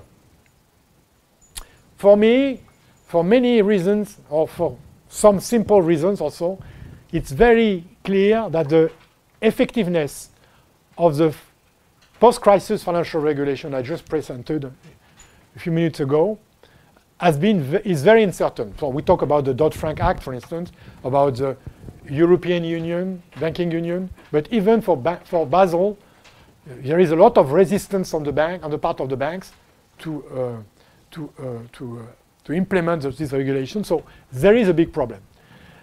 Today, I will mention to you two major problems, two major threats, which are uh, today very important. One of them I, I mentioned already uh, is the shadow banking system, and already which are not solved completely, which are completely left aside in the in the in the, in the present situation. And also, let's put into the picture uh, political, the political situation in the world. In the US, but also in Europe, we had recent elections in the US, in the EU, and also the question of the Brexit, which are all pushing toward a new cycle of financial deregulation. And this is, for me, one of the major threats also of the future, is that we, are, we may, are, may be going into a new cycle of deregulation, while it is more than likely that a new financial crisis is coming ahead of us. So we are in a very, very, uh, well, let's say, dangerous situation too many. So the two major threats I see now is the question of the global debt in the world economy, which has not been dealt at all by authorities, by governments, and also the question of the fact that a lot of banks a lot of banking systems are all are still under strong pressure. In other words, are very on borderline, very on the border of failure. Okay, and this for me is a very uh, dangerous situation. And besides that, we have a, a, situation where the growth of GDP and investment is going down, is slowing down. This is also another problem. I mentioned to that we'll have probably a future increase in interest rates started already in the US. We have a lot of problems, macroeconomic problems, financial problems, which are going to interfere probably, and to show that finan financial deregulation, all this will play together in a very dangerous way in the future. What about global debt? One, but maybe the most important feature of the financial system today is the global debt. It's the evolution of global debt. Since the crisis of 2007, we had no reduction in debt in all sectors and in all, almost all parts of the, of the world. For instance, here I found that a last report by McKinsey, which is a made very interesting report uh, on debt. And this is what does this uh, diagram shows. You see, for instance, this is the total debt of the, in the world related to GDP in percentage. Let's look, for instance, at 2007, okay, just before the crisis, if you will. You could see that the debt was, you'd see more than 200% of GDP in the world. Now, look, the debt increased, increased. Maybe there is a kind of stagnation now recently, small increase, but the level, global level of debt in terms of level of GDP, percentage of GDP, has been increasing. And you can see that all sectors have been concerned household sector, look at the debt of household. This is billions of dollars. You can see that this is 2007, 31 billion trillion for household, 43 in 2017. Okay, look at how at the corporate sector. Okay, 37. Now we are 66 trillion. Okay, government sector. It's not a surprise. 29. Now we are about 60 okay, trillion. This is all, all countries, all region included, of course. So this gives you an idea of the problem. The problem for me, now I give you my uh, analysis. For me, the most dangerous situation lies here, in the corporate sector. It's not in the household sector, although we had we have still some problem in some countries in the real estate sector, although we have a lot of countries with a lot of, of government debt, but it seems to me that it is in the basically in the corporate sector. Why? Because in the corporate sector, you, had a, you have now a bubble in the sense that the rate of increase of issuance of bonds, corporate bonds, is high.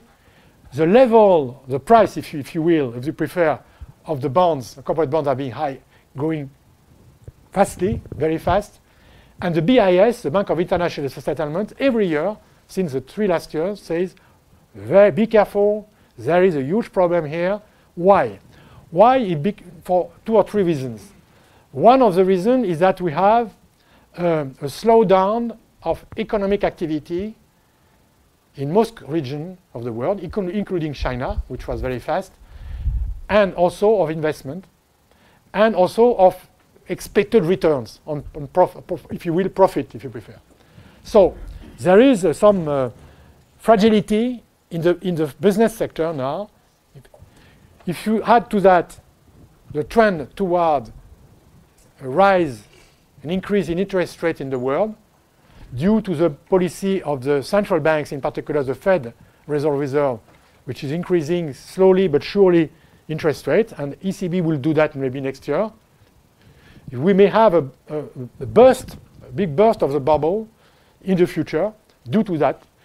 If there is a political event, or there is a, a, a beginning of some failure of some banks in some part of the world, we may have a panic. And the panic will we may take place in on the on the on the bond on the bond sector, uh, on the corporate bond sector. This is my guess. I hope I'm wrong, of course. But I can be more precise. Mac the McKinsey report, they say that if you look at, I'm sorry, it's not very clear, but you, you'll have the PowerPoint. The title is very clear. If you look at emerging countries, okay, you can see that in most countries, you have a lot of problems, okay? And uh, you have, uh, for instance, in China, for instance, you have, a, you have also other developing countries. You have the perspective, probably, of having uh, a problem with the corporate bond sector. Okay? It's not only in the US, not only in Western Europe, but also in developing countries, emerging countries. This, this is new because in the previous, previous, previous crisis, it was only among advanced economies, US, Europe, Japan. But here we are in a more global situation. Okay? So this is another thing. Now, if you look at the emerging economy, look at this estimate by McKinsey. Of course, this is a, it can be challenged. They say that in the coming years, 30 to 40 percent of corporate, corporate bonds may be at risk of default if interest rates increase. In other words, if there is a trend in increase in interest rates, they will be, they may have a panic at some point on the corporate, corporate bond sector, in particular starting in emerging countries where you have more risk. I don't know if you are aware of the mechanics of the corporate bonds system sector. You know that there is an inverse relationship between the return on bonds and the price of bonds. In other words, it is easy to understand. If at one point interest rates are raising, okay, it means that the future returns on bonds are going to be higher. What is the rational behavior of an investment fund who holds a lot of bonds is to sell the old bonds, the returns of which are lower than the future. And if too many investment funds are selling their bonds, then we have a crash on the corporate bond sector. So this is a mechanic which can be in play in, in the future. It is a very, very dangerous. We are on the edge of a volcano. Some people use this image also we are in a very difficult situation. And if you look at what says, what are said, what is said by the authorities, by the government, you, they almost say nothing about the debt, about the way to try to stop, to tackle this question of the debt increase. And this is very, very, uh, uh, well, it, it, gives you a lot of uh, anxiety. Myself, I'm very upset about that. It, for me, it's the major problem today and it doesn't seem that the government, the authorities, at the IMF, the IMF and the BIS are saying yes. They are whistleblowers. They say yes, there is a problem. But they are the only one to say something. Governments do, do not do not seem to be concerned by that, and as well as also uh, authorities like the ECB, for instance, central bank, they do not communicate too much on that. That's a, that for me, that's a problem. So, what I suggest is that you should watch this question uh, in the form, for coming month because we may we may have surprise on that. By the way, if you, one of you want to make a, an interesting study for uh, for your your master, this is a good good field where you can you can work the question of debt, in particular in corporate debt, because I think it's something new, it's something important today, it's something strategic. So it's a good good uh, good topic. now, for me today, and this is uh, why I'm very pessi fairly pessimistic, it seems that a lot of countries are trapped what in what I call a vicious circle. In many countries in regions, not only Europe but also advanced economy, uh, emergent economy, we are trapped in a vicious circle due to the fact that we have we came into a new we are come into a new regime of slower growth, of slower inflation, and rising interest rates. I don't know if some other lectures, some of the professors mentioned this to you. For me, it's we, we are coming into a new what we may, I may call a new growth regime since the crisis. A growth regime characterized by slower growth, lower rate of interest inflation, and now, starting from now, from recent years, a trend towards rising interest rates. This, co this cocktail lead to a big problem with respect to debt, to, to debt, to debt, because when you have a rising level of debt and GDP and inflation are slow, then the ratio is increasing faster, okay? And if besides that you have raising interest rates, it means that you have to pay more and more for your debt in terms of interest rate, then you, will have, a, you know, explosive situation in terms of debt. And here I make a comparison with uh, the, the, the two previous period, the pre, pre, pre-war period, the 30s and the post-war period. In the 30s, we had already a situation which was very well described by Irving Fisher, which was, it was called a debt deflation vicious cycle, where uh, a good number of countries, US, UK, France, Germany, had a good le high level of debt, but they were in trouble because at that time there was low growth, low inflation. Of course, it's more it was more dramatic than it is today because you, you had a different situation, but this was a problem. But more important is what happened after World War II. After World War II, European countries like Great Britain, France, Germany had a huge level of debt, in particular of public debt, which was over 30%, 300% of GDP. But what happened after the war? We had a very high, fast level process of deleveraging because we had a high level of nominal growth of GDP, high real growth, and high level of inflation. And in, within 10 years, most of the weight of the debt was eliminated because of this high level of growth, nominal growth. Today, we are in an opposite situation in the world.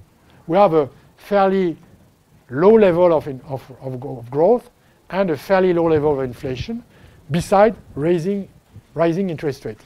So this is why I do think that this question of debt is a real, a real, a real problem. Okay? Now,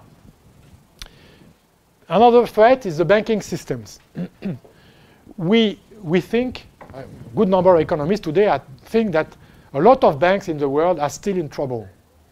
Fortunately, if I look to the French banks, it doesn't seem to be the case with major French banks. But for instance, in, if you look, go to Germany, the Deutsche Bank is still in deep trouble. If you go to Italy, you have a good number of banks, medium-sized banks, which are in big trouble, which are almost in a situation of failure. If you go to Japan, you also have problems. If you go now to China, you have a lot of banks, which are sometimes public banks, regional public banks, which are in trouble, okay, because they have been spending too much, lending too much to the real estate sector in particular. You have a bubble there. So in some part of the world, you have banks which are in trouble, which means that this may be a spot where the new banking crisis can, can start from, okay? We don't know where, but some countries are not in very good shape, including Europe, including Europe, okay?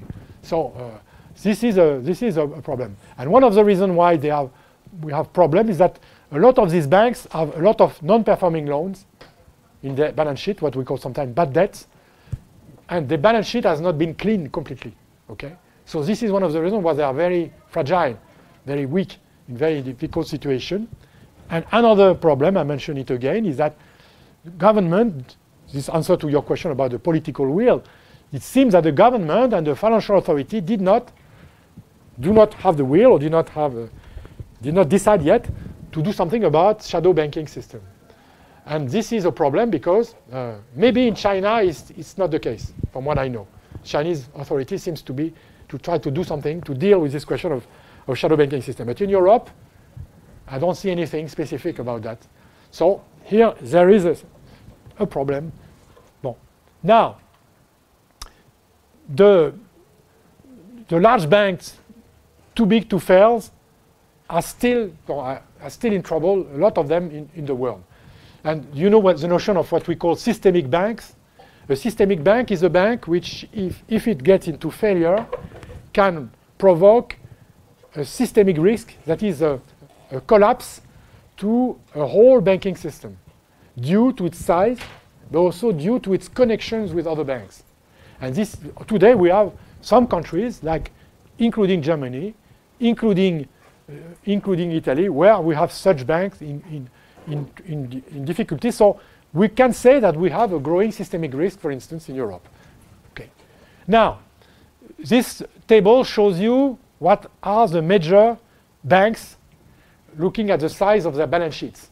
The new thing compared to what, what was the situation just before the subprime crisis is that the world banking system is dominated by Chinese banks. Look here, one, two, three, four, five. One, two, three, four, four banks, I'm sorry, among the largest banks. The first largest bank in the world are Chinese banks. European banks are coming afterwards, or US banks or Japanese banks are coming afterwards. This is a huge change. It means that the, the, the logic of the banking system is changing because among these banks you have public banks as well as private banks. So this may mean new forms of regulation because the Chinese authorities, when they will deal with international financial regulation, will not necessarily have the same ideas as the British the French of the German. So it's going to be a problem for the future regulation of the banking system. Okay, I will go faster. Now, I will end up with the political dimension of the problem. The recent elections. We had recent votes which are very uh, problematic with respect to financial stability to some to large extent. The Brexit vote, and not only, of course, financial stability, but the Brexit vote, the Trump election, okay, the two of them taking place in 2016, and in Europe, election in France with Mr. Macron, which is for me problematic with respect to the question of financial stability, and election in Germany, where you have a new, uh, new, not a new coalition, but a new government deal, which is more, much more liberal, going toward more regulation, deregulation. Now, Mr. Trump uh, have appointed people which are very much on the li libertarian side, the Wall Street side. So we are very much in favor of deregulation. Okay. Now, Trump wants to roll back a large part of the, as I said, the Dodd-Frank Act, reduce the power, for instance, of the Consumer Banking Bureau, Bank Liquidation Authority, and so on. Also the Volcker rule I mentioned. What about the Brexit? The, the, the, Brexit, what would be the consequence of the Brexit with respect to uh, financial regulation and financial stability? It seems to me that now there is a kind of alliance between the US and Great Britain to create a space, a financial space, which would be, which will be largely deregulated to compete with other financial spaces like continental Europe or maybe emerging country spaces. Okay, so we have a global uh, regulatory competition which may be taking place in the future due to this change, the geopolitical change due to elections, okay?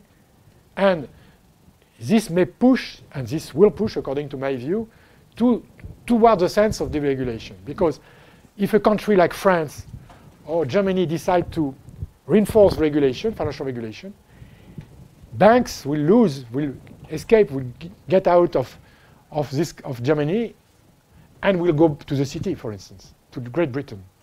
So now, what is the game played by Mrs. Merkel and Mr. Macron?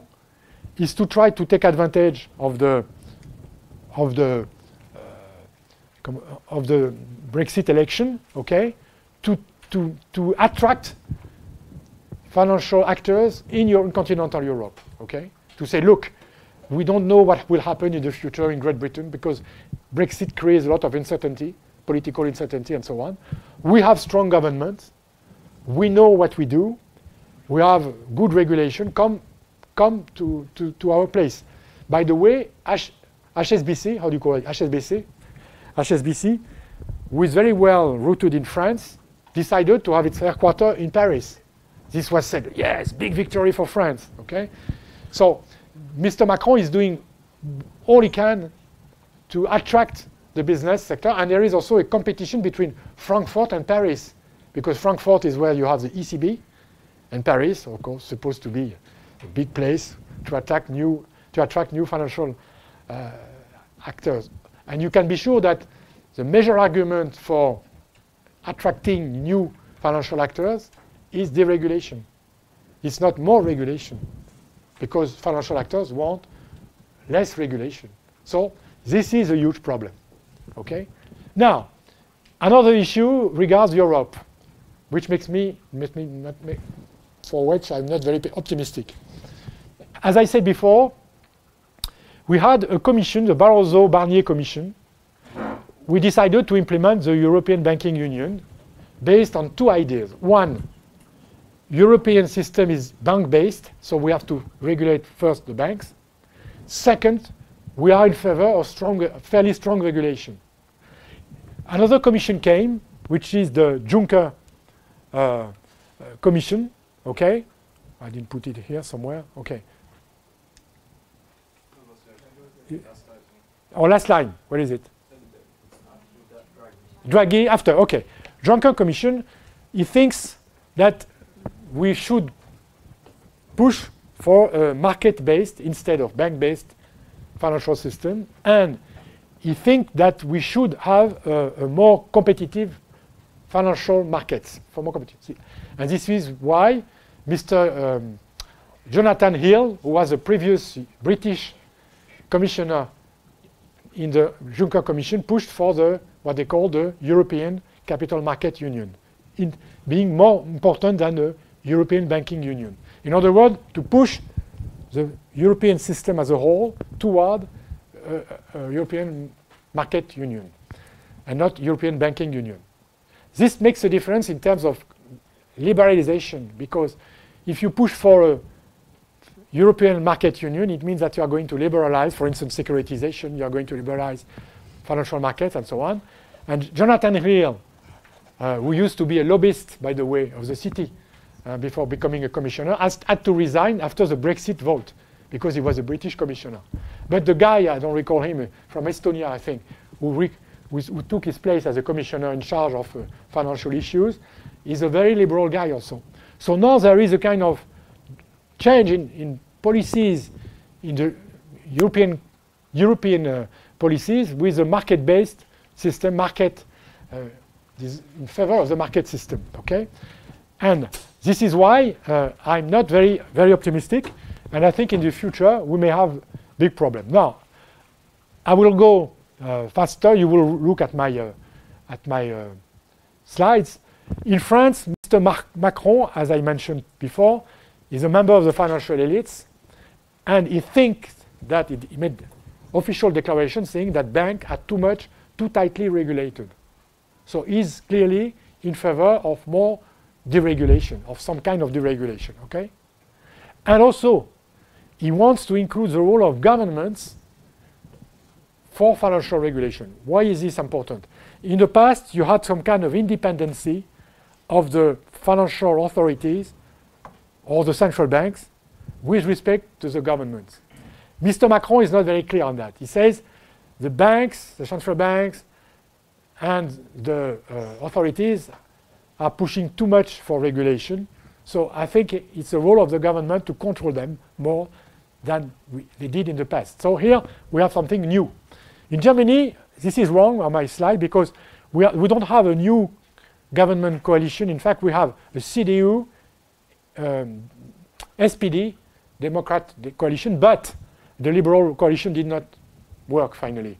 So, but it, although it's the same coalition than the previous one with the CDU and the Social De Democrats, the, if you look at the program, it's a more liberal program. Why? Because the Social Democrats lost a lot of votes, are very weak now in the coalition, and are not in, in a position to impose a more strong, a stronger regulation, which was the, the case in the previous coalition.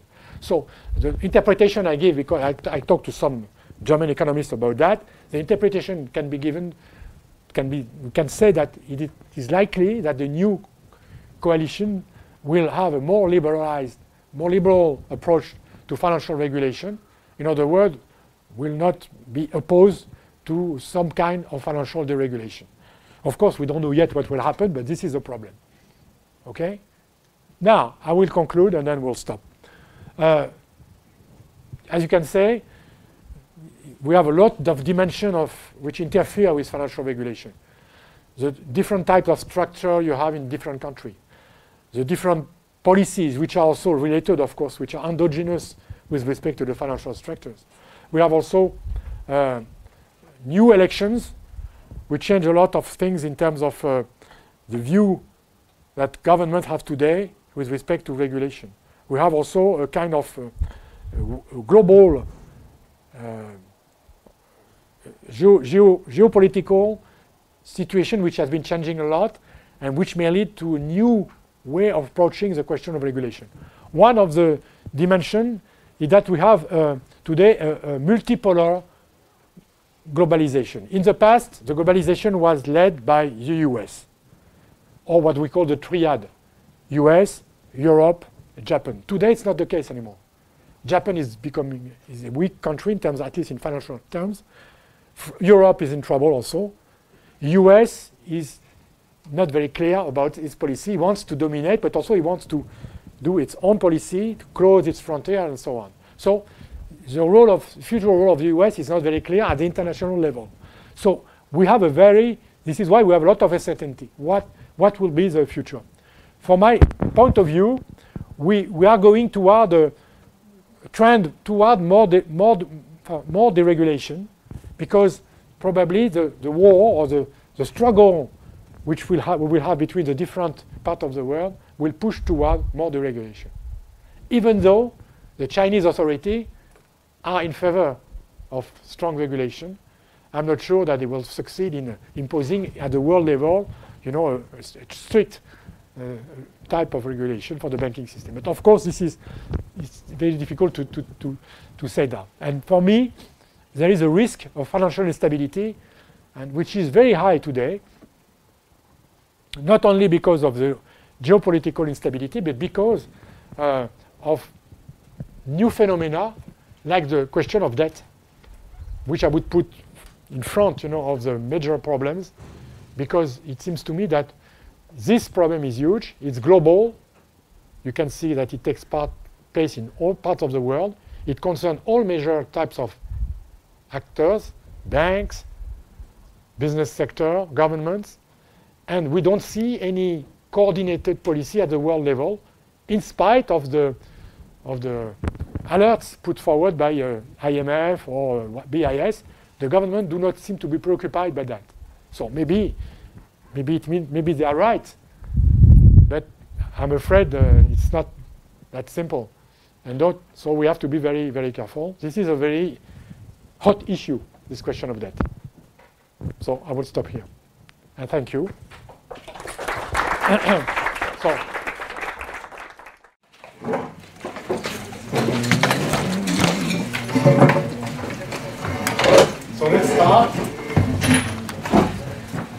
Have some questions, some discussion. Please.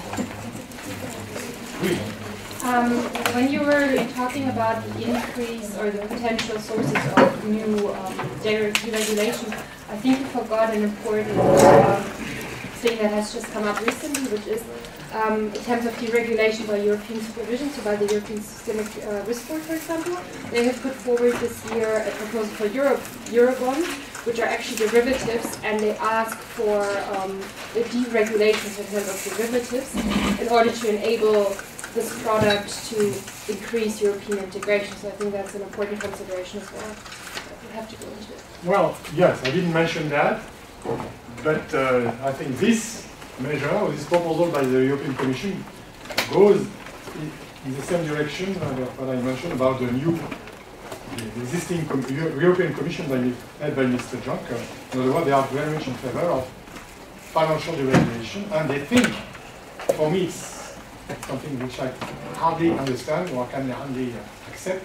They think that financial deregulation can be uh, a very efficient means of pushing forward European integration. Okay? In other words, European integration by more financial integration, by more financial liberalization.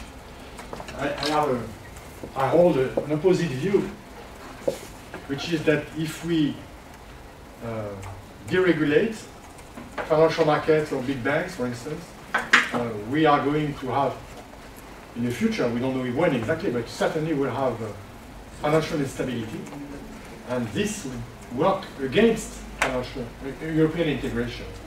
One of the reasons is that all countries in Europe are not at the same level of uh, financial development, are not at the same level of financial regulation, so it's going to be a big mess.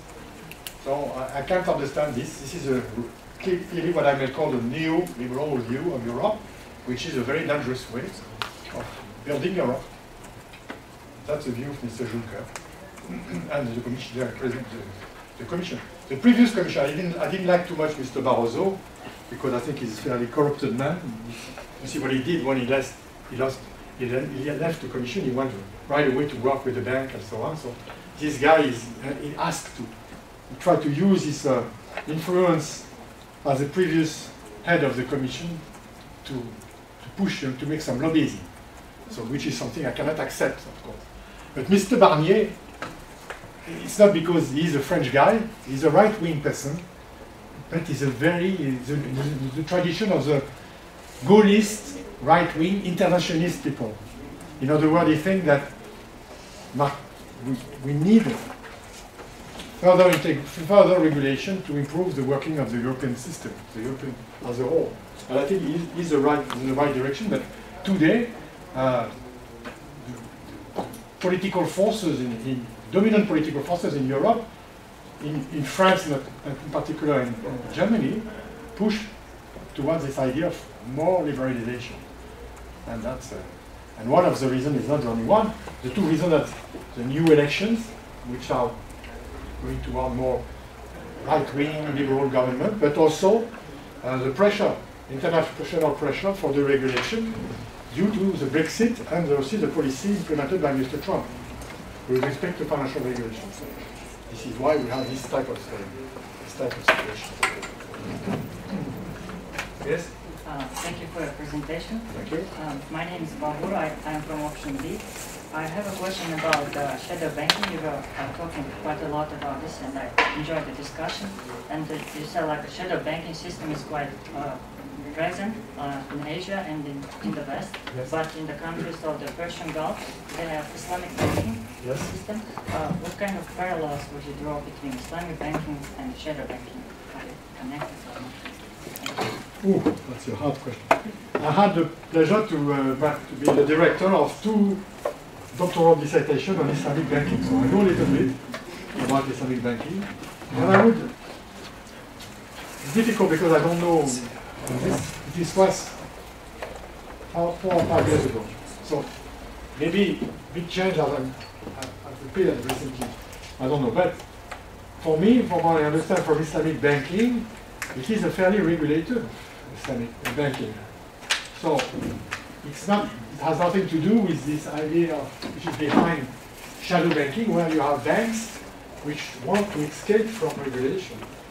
So I would say there is no, or it's not, there is no relationship between the two. But it may be the case that now, or recent, in recent years, I mean, I don't know, in countries of the Gulf, you may have new forms of finance uh, in Islamic countries which are close to uh, that, a kind, different kind of shadow banking. I don't know. I don't think. I don't think. I don't see why this would happen, but why not?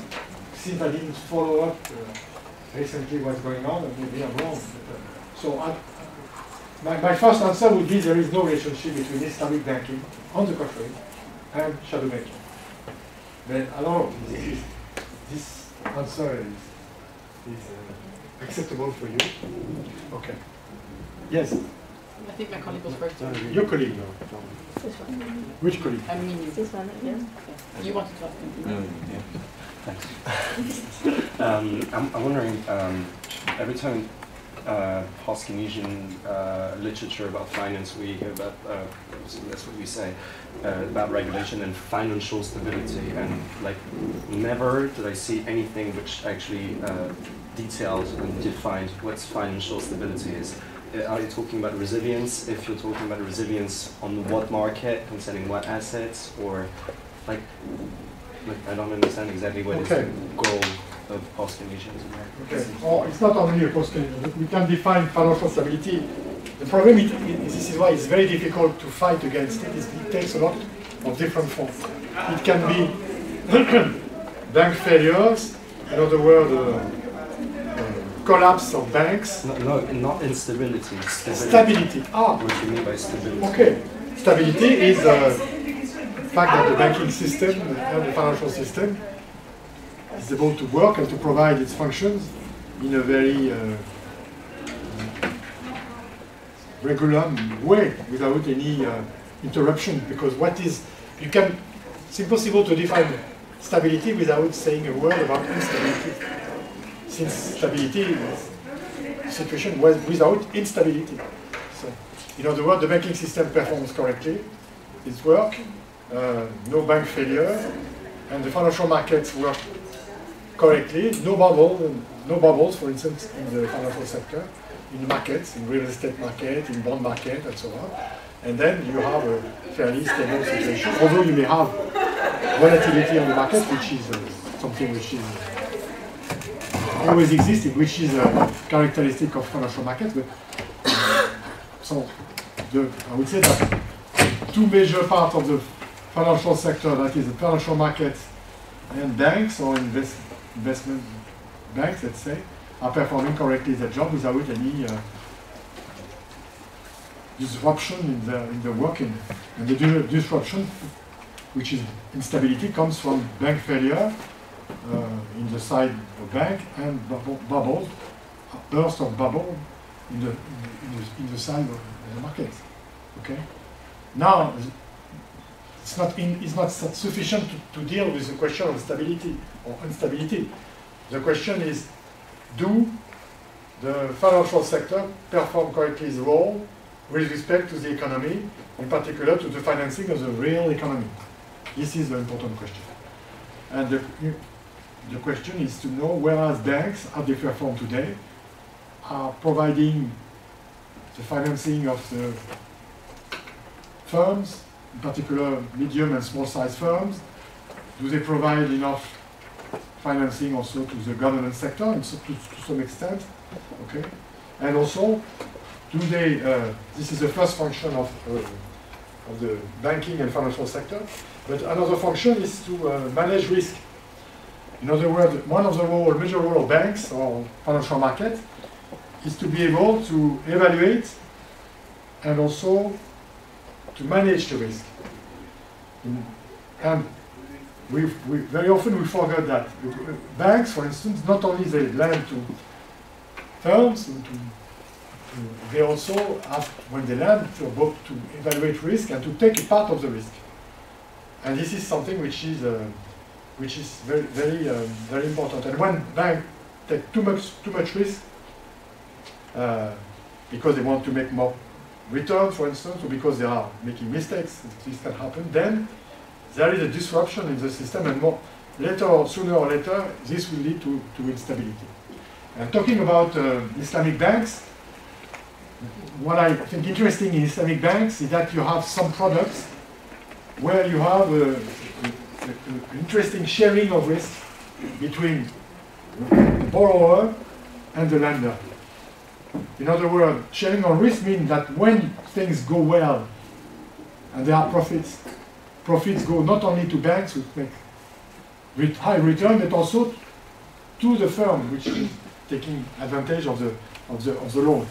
And in case in bad times, when there are difficulties, the bank in the traditional banking system in Europe, for instance, is assuming most of the risk and not the, not, not the, the borrower.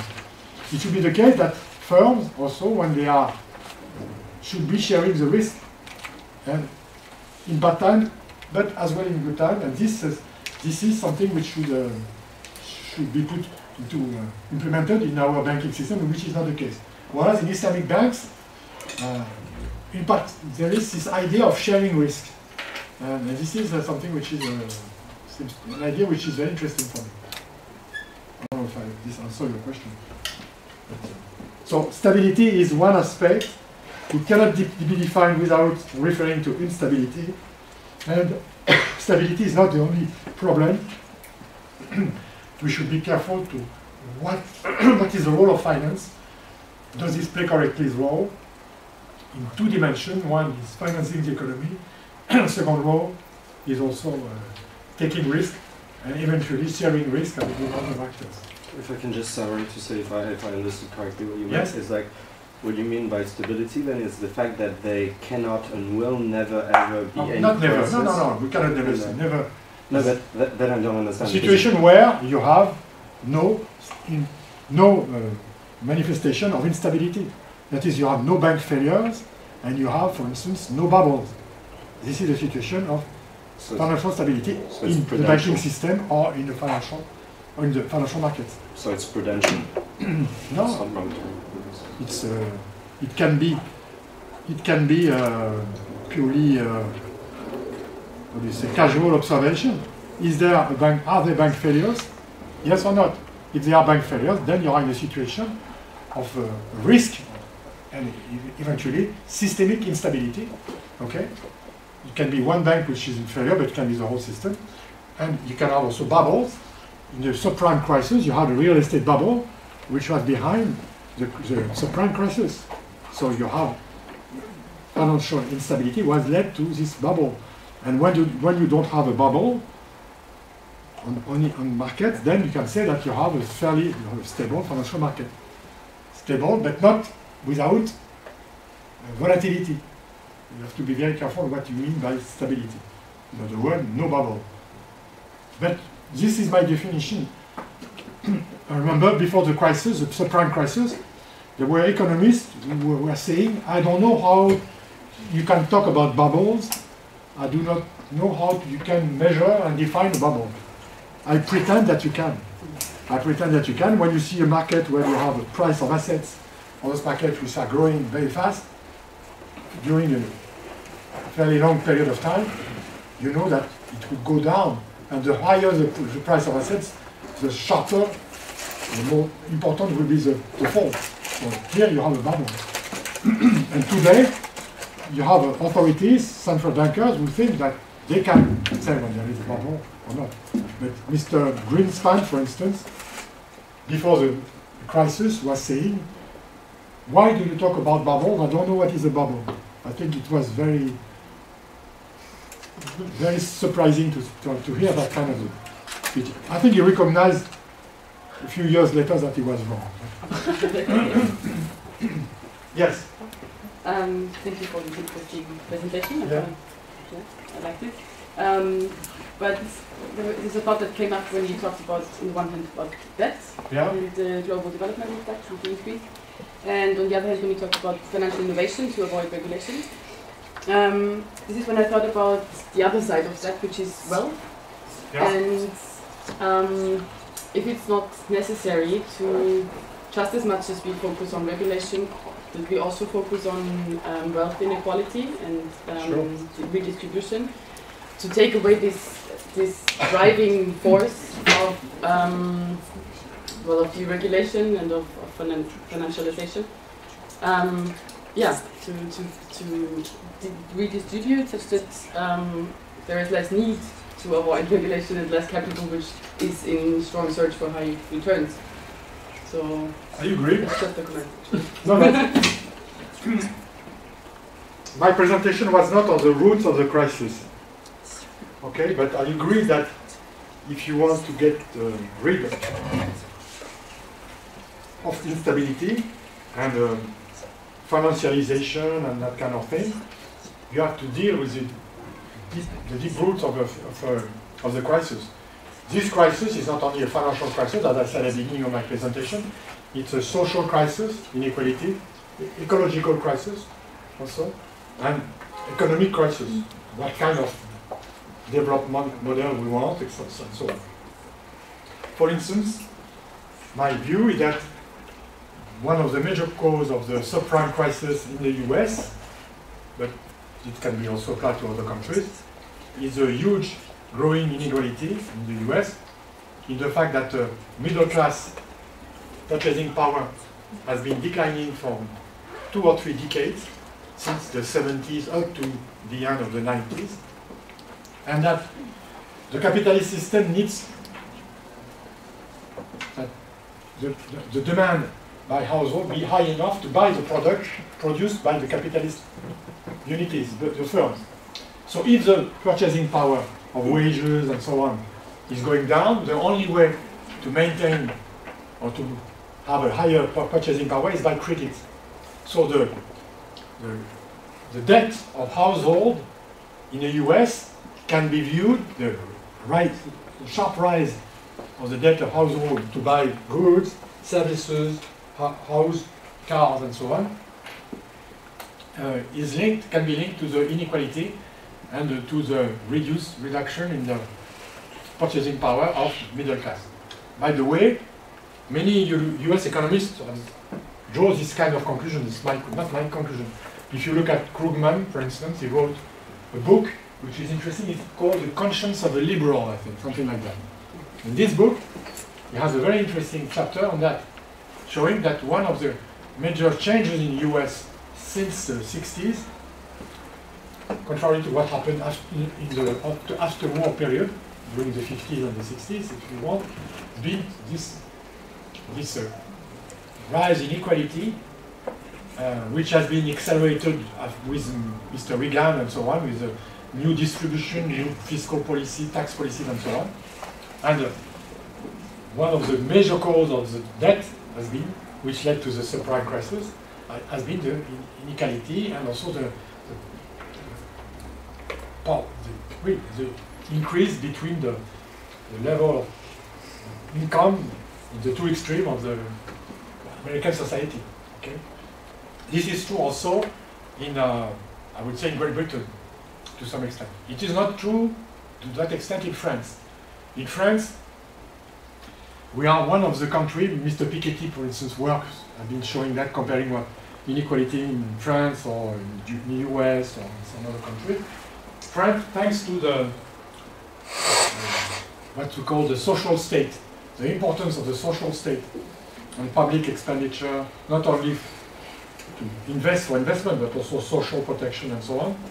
We had a, we have a, a social stabilizer, we call that, which uh, reduced, or we- which prevented the high increase in inequality. We have increased inequality, but not as much as in the US or as in Great Britain. okay?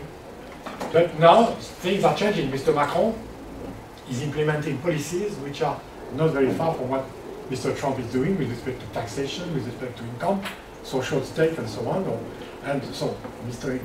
Trump, uh, Macron is pushing us towards the same type of policies. So, uh, I, would, I wanted to say that in France, the increase in debt and financial instability has been less important in terms of bank failures, financial instability, for instance, eh, has been less important than in UK or in other countries, in Europe, Italy, for instance, than the because of the, of the fact that probably one of the reasons is that inequality are not as important. So, to answer completely your question, yes, one, we- if we want to get rid of this type of crisis its financial dimension, but also social dimension and so on, which are related, we have to take measures and to have policies which are dealing with this different dimension of the, of the, of the crisis. Huge tax reduction, which are benefiting to the higher 10% level bracket of income, and not to the rest of the population, on the contrary. So we, we, we have to have a systemic approach to, uh, to uh, the crisis, which is a systemic crisis, and also to financial instability, which is linked to this systemic crisis. Yes? Thanks for this presentation. I was wondering, um, these regulation discussions, they really tackle uh, what I would call non-international issues, so to speak. Uh, they really focus on either the mon- the monetary union in, the, in Europe, but only, for instance, only the UK, only the US. There's growing literature that tries to draw cartographies of capital flows Mhm. from one country to another. And especially in the case of the euro crisis, you can really see that from Germany, from, from Germany, France to a certain extent, they all went through the UK, the US, and then went back in order to. Is there any discussion on the limitation of capital outflows towards these financial sectors that provide services that can avoid uh, that can avoid you know, regulation, or you know go beyond the limits posed by bank-based system as we have in Europe? So there are no discussion, or almost no discussion among uh, regulators, except the fact that the IMF, for instance, agrees now that taxation of capital flows, control of capital flows, and FTT, financial transaction tax, may be a good view, may be a good measure, Even, even for developed countries, not only in particular for developing countries and for emerging countries. but not for developed countries. No. This is what, this is what, from what I understand. Okay? But what is interesting is that the European Commission accepted to uh, prepare a, direct, a directive dealing with the FTT, which is uh, one way to, to regulate or to uh, have action to have action on capital flows. Before it was opposed to that because uh, they, according to the Commission, it would uh, reduce one of the major, what they call the, the freedom in Europe. The major freedom is freedom of circulation of goods, services, people, and flows, capital flows. And so, freedom of capital flows would be stopped, would be uh, reduced uh, if there is a FTT. But it changed its mind. Why did it change its mind? Uh, there are many reasons. One of the reasons is not so much to fight against stability financial instability or speculation is because the Commission wants money. Because the European budget is so small, less than 1% of European GDP, the Commission wants to have more money to, uh, to implement its policies. Whereas the government do not necessarily agree with that. The German government is opposed to. But one of the reasons why the Commission changed its mind is because thought that it would be a good way to get more money at the European level to uh, fund the European budget. Just a few little quick follow-up comments on that. The, this idea of tax, I mean, of tax in transactions, as you said, won't prevent speculation, but it depends on the on the amount of the tax, of course. But if the amount is minimal, there won't be any. I mean, the effect will be everything but high and significant. And also, it will make the this potential European budget rely on really unstable proceeds, like what happened in Spain, for instance. All tax, great amount of tax income was based on the housing bubble. If we do have, if we have the same for the European budget, it's not really. No, no. So maybe what I'm going to say now is contradictory what I said just before.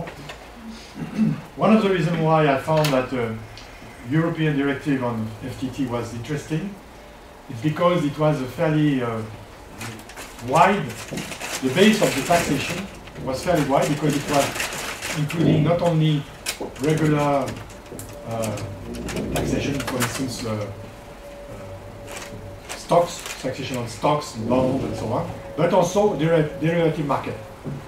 So, and one of the reasons why the banks and the financial actors were opposed, strongly opposed to this uh, directive and FTT, is because they, they realized that if there was such a taxation on derivative, for instance, they may lose a lot of money. And French banks, for instance, Societe Generale, is one of the world leader in dealing with uh, stock deri- derivative.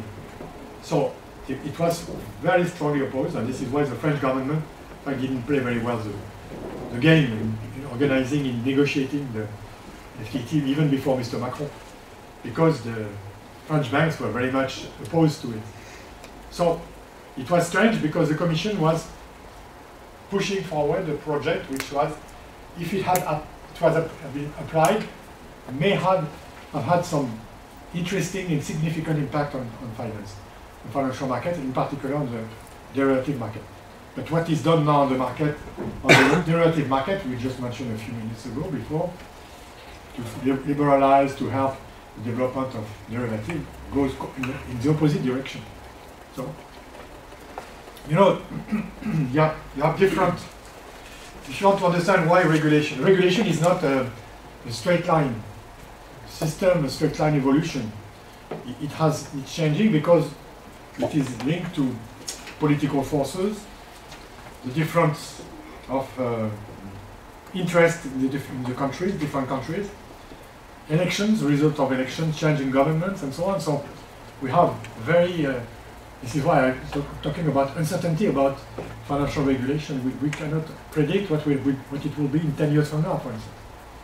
So, and, and this is why it's very difficult to, uh, not only to predict, but to analyze what people, government, and so on mean by financial stability. Because the German government would not mean necessarily the same thing as the French government or the, or the Italian government. So uh, that's why it's a very difficult topic. It's not an easy topic.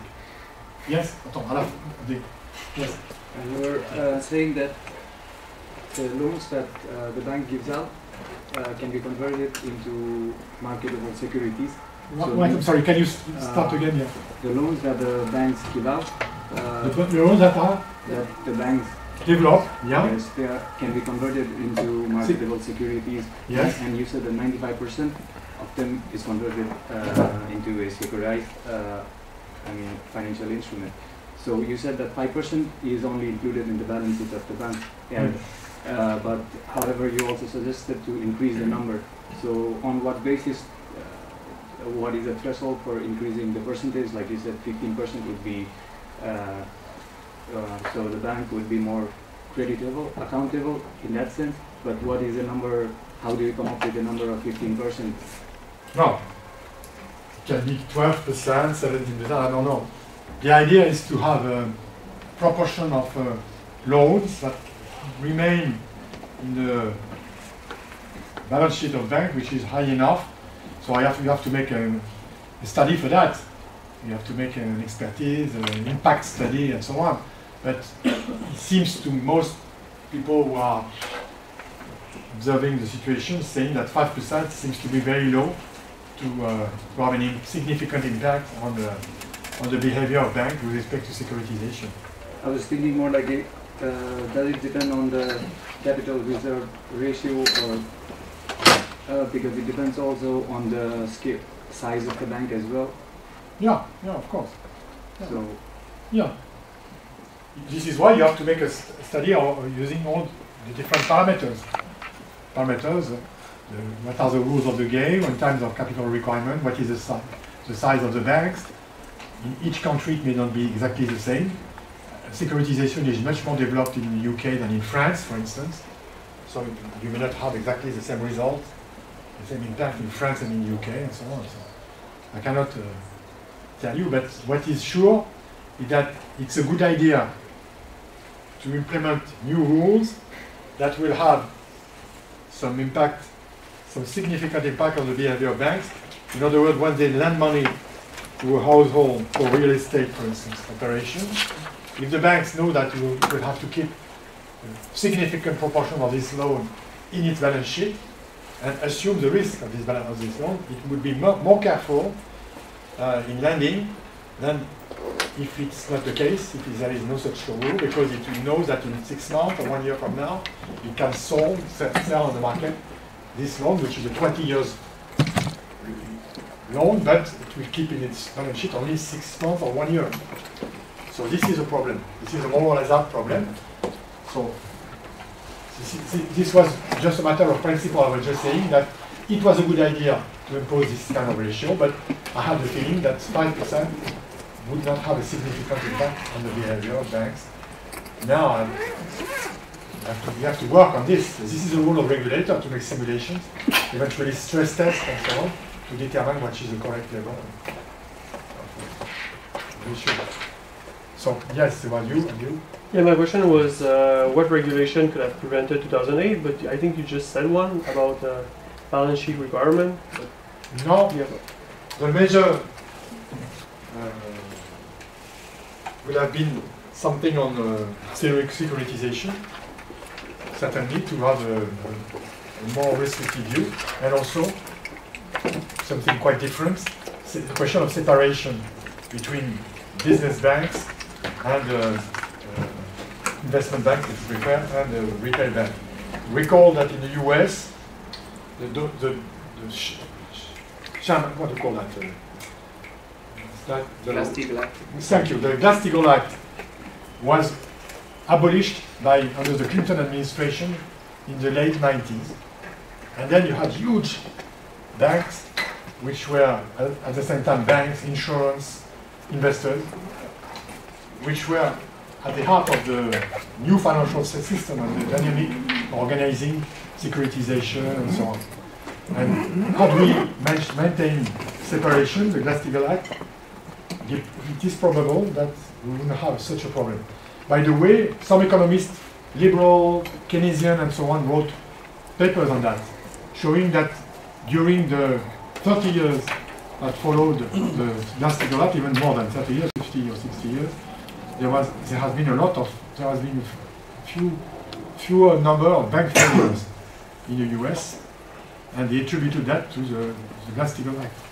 So, a contrario, you can say that by abolishing the Glass-Steagall Act, you may have followed a situation where the bank would have been in position to take more risk and to become systemic, so that they would uh, create a done pressure on, on the whole financial system by their size and by their interconnection with, with other banks. So for me, and for a lot of economists now today, the major reform that should have been implemented after the crisis is the separation. A new, a new Glass-Steagall Act, if you want. By the way, in France, we had a Steagall Act also, but it was in the post-war period, in the 50s. And it was abolished by a banking law in 1984. So we had also a Steagall Act. It was abolished, and in the US, it was the we had the same. Monsieur de la gauche, oui. c'est pareil, c'est les démocrates. In the US, it was the Democrat who abolished this Steagall Act. In France, it was the left government. Yes, they like finance. La finance, c'est mon ami. yeah. Uh, yeah, thanks. Um, so when you, I, maybe a question of clarification, I'm not sure though. Um, in your talk, you were talking about the uh, macroeconomic situation of between uh, of Germany and Greece, and you were saying that uh, in Germany there's a high uh, high level of uh, domestic saving, of private saving, whereas Greece is lacking the same. And um, it kind of sounded like that um, you were opting for Germany should give credit or give their domestic saving to Greece in order to develop or like to help uh, Greece economics um, situation, which is was kind of confusing me because we were also talking about the endogenous money theory before. So um, I have the feeling this would not uh, work out with the endogenous money theory, and also it kind of reminded me on the, the savings gap models uh, deployed in developing countries before. So I wonder if it was this what you meant, or if you are more like saying that we need some kind of fiscal redistribution so that we can have the surplus money from. Germany maybe in, in Southern European economies. Okay. No, I was not saying, or maybe I was not very clear on what I said. I didn't say, or I mean, mean, mean to say that the Germans should give their saving to, and it doesn't work that way. The first thing that the German government does not, do not respect, does not respect the regulation, the rules in Europe. The rules in Europe is that the current surplus, so you know what is a current account, the current surplus shouldn't be higher than 6% of GDP. Whereas the current deficit should be should be higher than three percent. So already you have an asymmetry in favor of surplus country. And not only that, Germany do not respect the six percent rule of its surplus because it's eight percent now, and nobody says nothing about that. The Commission says nothing. Mr. Juncker has been nominated by Mr. Merkel, by the way. So there is a kind of political link between the Commission and Germany, which is um, the most powerful country in, in Europe. So, and the French government says nothing about it also. So, I used to write, maybe I see if I find it, I can send it to you. I wrote, used to write, some German friends asked me to write a paper on this issue. So my answer was the following. It should be the case that Germany should spend more money, private and public, to reduce its saving, because saving is what is money which is not spent. Okay, in a very Keynesian simple framework. So more public expenditure to stimulate household spending in terms of well, housing, in terms of uh, car and so on, what you want, by stimulating, by more stimulation in terms of taxation and so on. Also redistribution of income, because we know that the propensity to consume of lower income people is much higher than the propensity to consume of high income people. So this is all top, ba basic Keynesian type of uh, argumentation. And if we had that, then the rate of growth of Germany would be higher. They would import more goods, okay, from all the partners, France, Greece, Spain, and so on. And this would stimulate growth and employment in the rest of Europe. And the, the surplus would be reduced, but the, also the deficit of other countries like France or Greece would be reduced also, and the huge disequilibrium, macroeconomic disequilibrium we have in, uh, Europe will be reduced. So the problem is that the German government and the German people, most of the German people, do not think in that terms. They think that if they have a 6%, 8% surplus, it's because they are good, more efficient than others, and others have to do the same. but you cannot have, it's, a, it's, a, it's not that, that way because the deficit of, of some countries are the surplus of other countries. All countries cannot have a surplus. So this is a ridiculous way to think, okay, in terms of, of macroeconomic term, in, uh, also in a regional terms, looking at all countries in Europe, for instance. So this is what I think. And uh, if there is also this idea that if we had a more important European budget, uh, an important part of this budget should be devoted to public investment. Public investment for the ecological transition, for instance. And here you will have public investment in many countries, uh, including uh, countries in Southern Europe, which would be very useful uh, to stimulate, of course, growth, but also to help this country to, uh, to be more efficient in fighting, uh, for instance, all these problems we have with climate, climate change. So this is what I meant. So I think what I just presented is not is compatible, consistent with the idea of endogenous money theory. And I was not saying we are going to create money for that, decide to create money for that. No. It's, it has to start this, this is why it's a political problem because it has to be to start with political decision by a government to change its policies with respect to public spending, with respect to taxation, with respect to income distribution, and then change things will change. yes. Um, hello, my name is Matt. My, my name is Matheus. I'm an option B student. Uh, you mentioned at some point uh, that uh, for, for dealing and preventing the crisis, we should not only look at the financial part, but also the inequality part, look, uh, citing the example of US. And uh, I would like to know, um, well, main, which kind of uh, policies in general would, would, would, you recommend for it, but especially uh, many, talking about financial institutions, many international institutions, such as World Bank, for example, support an idea that if you uh, but the poor people of, of, of the country uh, inside the formal bank system instead of the informal lenders that they usually do. Uh, it would help them and help the poor people in reducing inequality. I would like to know uh, your, your opinion related to it. I'm not sure I understood exactly what. Um, Yeah, well, it's a very tricky question. I also directed a thesis uh, which was uh, on the Community Reinvestment Act in the US in the 90s.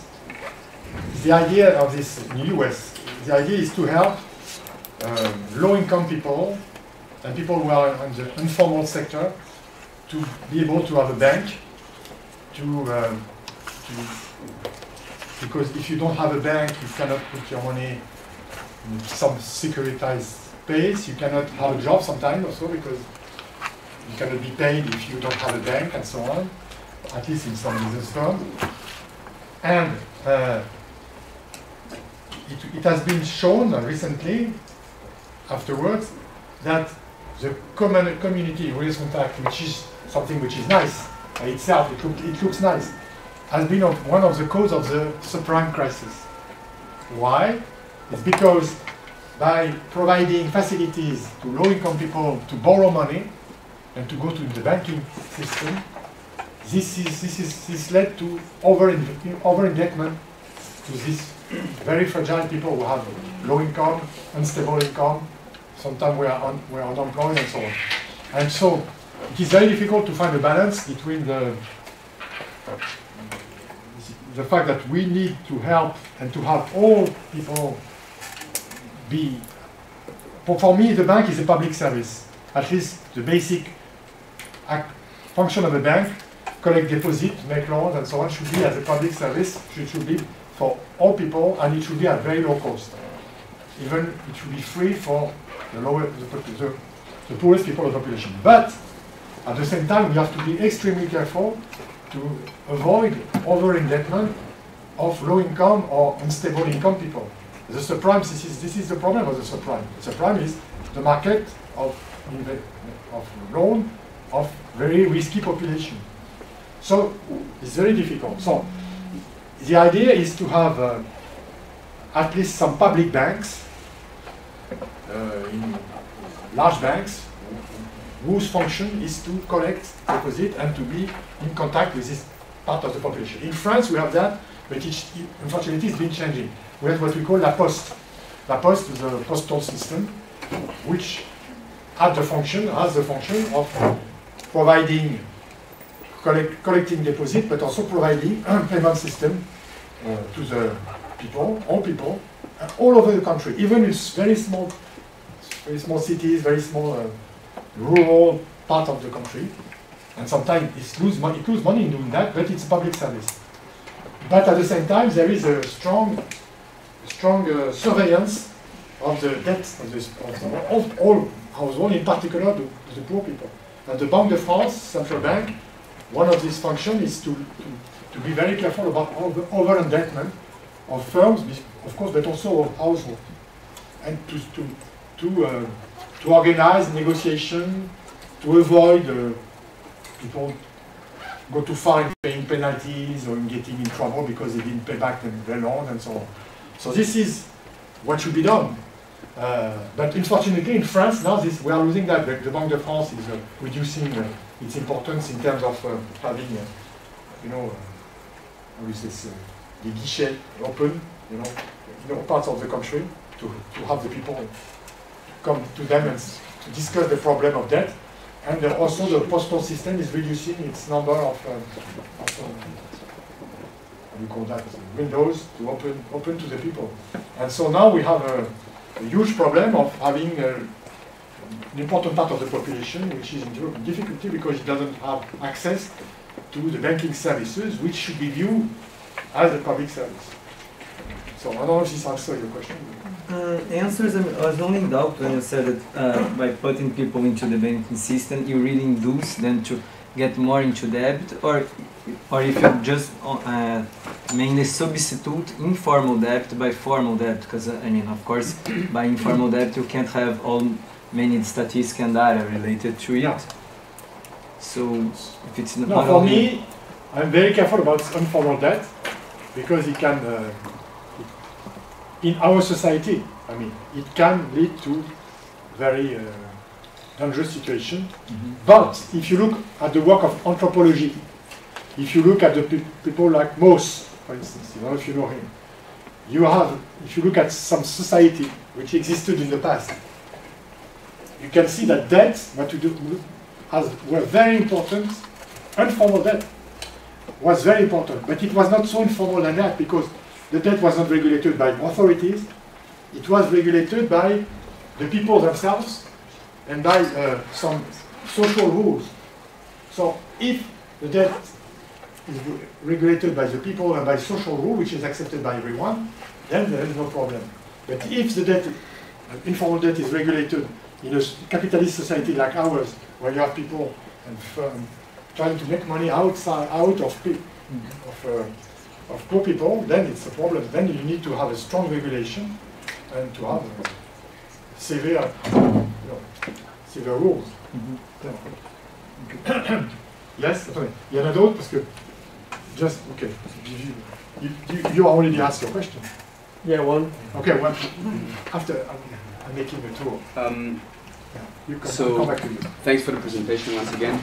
Um, I'll be a bit um, naive and controversial on purpose, but so you mentioned that um, the, the question was not just regulating uh, the financial system and its stability, but also how does it perform its function for the real economy, for society in general. Um, you mentioned, for example, the huge needs we have to uh, invest in ecological infrastructure and that kind of things.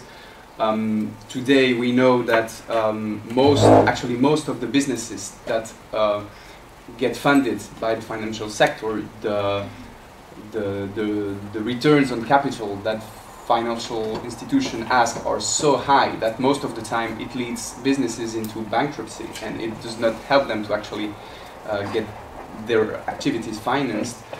And yeah, about ecological investment, what I meant is these investments by nature are not really investments that are profitable, that are not actually compatible with the logic of uh, interest. Um, my, my question is, um, could, we maybe um, think of, um, uh, of an economy without a financial system, without, without that financial system, especially if we do recognize that money is endogenous, and with some kind of sovereign money um, policy, the, the fact that uh, like central banks would be able to print money again to, to fund investment and businesses, um, would it be possible actually for uh, an economy, um, whether is it still capitalist or not, I don't know, but to function without that private financial system in your view? So my, uh, it's a good question. My answer would be that we need, in, in the current state of our economic societies, I don't call talk about economy, society, I think we need a financial system. But what, what, what do I mean by financial system? It can be uh, banks, central banks, some, time, some kind of regulated financial markets, okay, financing some specific, for instance, for innovation, for new technologies and so on, okay? But the problem now, if you deal with the question of the, the current, the existing financial system, do not, does not, is not able to provide the financing of the, we were talking about the ecological transition. Why? It's because we need long-term investment. Mm-hmm. And we can see very well that all banking and financial actors today, be they big banks or they can be also pension funds, mutual funds and so on, are short-sighted actors. And there is this tight connection between short-sightedness and high rate of return. Because if you want now, if you want high rate of return, it means that you want to have your money to roll back very quickly, and it, it's inconsistent with long-term investment.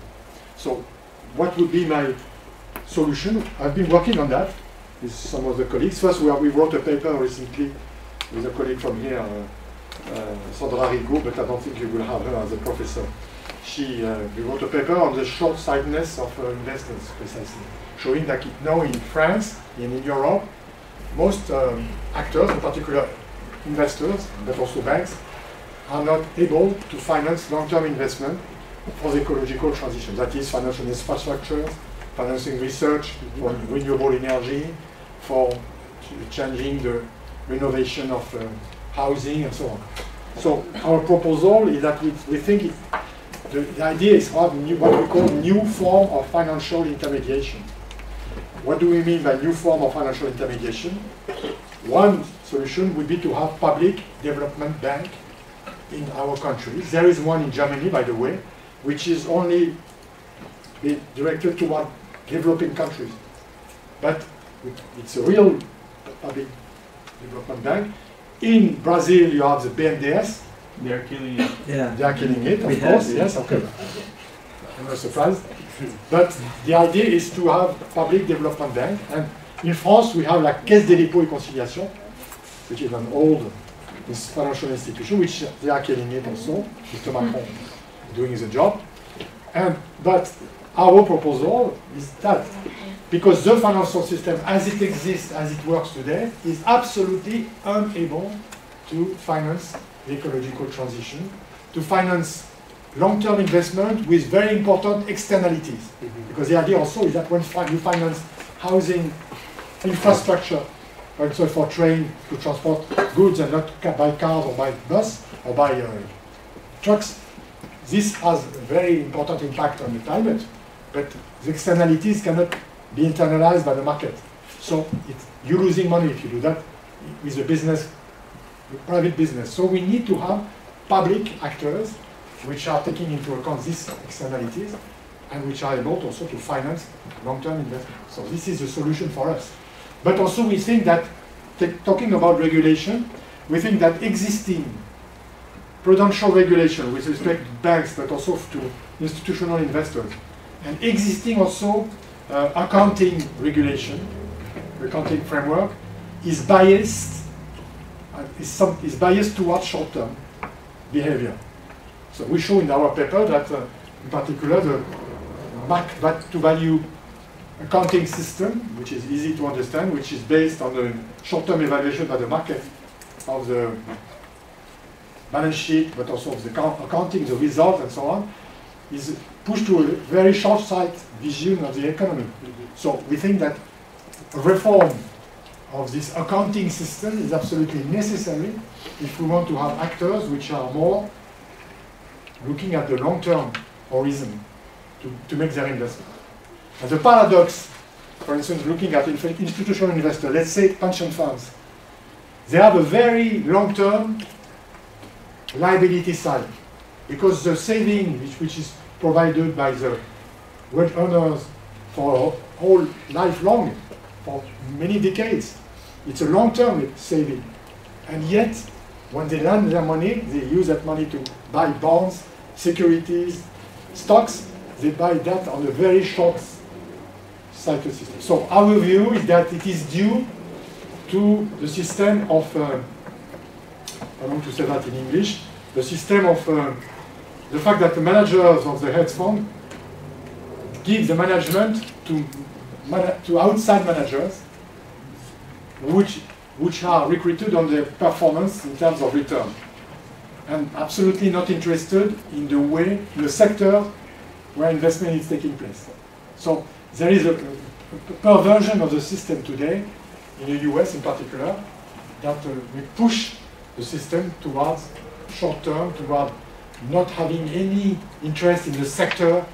It's only a factor of diversification, but not looking at the fossil energy, renewable energy. It's not a problem. The only question is to have a diversification. So it's a huge change which take place, and it's very difficult. But to start with, we need to have to think in terms of new forms of intermediation, and for instance, to have new uh, public development bank. Unfortunately, in countries, because in the world today there is a big democratic and political regression uh, in Brazil, but also in Europe, uh, and this is not very good for the financing of the transition, because it need, we need reform which are not reforms that uh, are pushed forward by the current government, Macron government, Trump government, Merkel government, on. And in Brazil, it's even worse. yes. I just wanted to say that it seems that financial operations and um, banking operations uh, grow faster or change faster than uh, regulatory institutions do. So, to me, there's a question on how uh, or in which issues a regulatory institution should be uh, focusing in. But I gave you the answer. Yeah. The answer in France, I'm, I'm not sure it's the same answer exactly in all countries, is separation.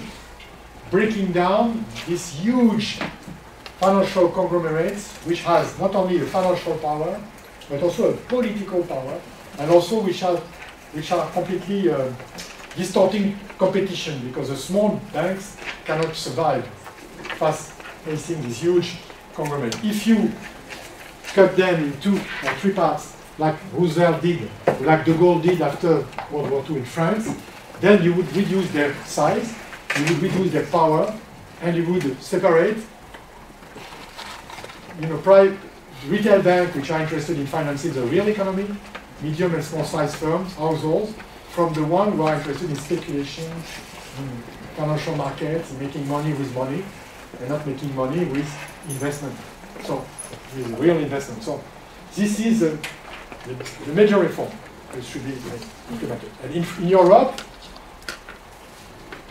the, the, the, the last, the, the banking, the banking uh, laws in Germany and in France, in Spain and so on, they all pretend making this separation.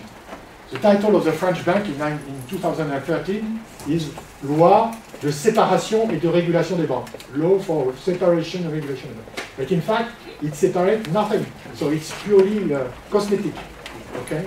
Because the lobby, the banking lobby was so powerful in preventing from having a true separation that the government, socialist government at that time, uh, not implement this separation. And it's the same in Germany, it's the same in other countries. So today it's very difficult because the power, the political power of financial actors is so big that they, they, there is what they call a capture of regulator. The regulator is not uh, able or does not want or does not have the, the will because it's highly connected also with the bank financial system. So this is why we are in a big, uh, big trouble. And this is why, if you look at Roosevelt, if you re read the history in Germany, uh, in the US, I'm sorry, Roosevelt had to fight very hard for the Glass-Steagall Act. But he had, he had a victory because he was able to, to fight against the big the lobby at that time. In, in, in our countries, we have the, the, we have the feeling, not the feeling, it's obvious that the, the regulators are not independent from the financial system, from the financial actor. So the, the radical changes we need, like separation of banks, cannot be implemented because of that. Okay? And this is why also there is a kind of uh, blindness of the of a lot of uh, managers of banks or funds because they don't realize that what they're doing is visual business as usual. They do exactly the same business as they did before the crisis. This business led to the crisis, so, and they, when you tell them that, they do not agree, but they don't realize that it, nothing has changed really. That, this is my, our view.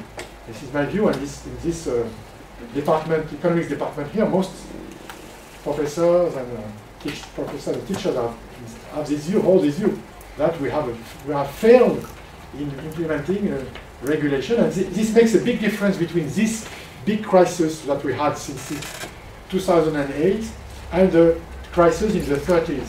In the 30s, we had radical reforms. After the crisis, following this crisis, we had no radical reforms. And this is a big, big difference.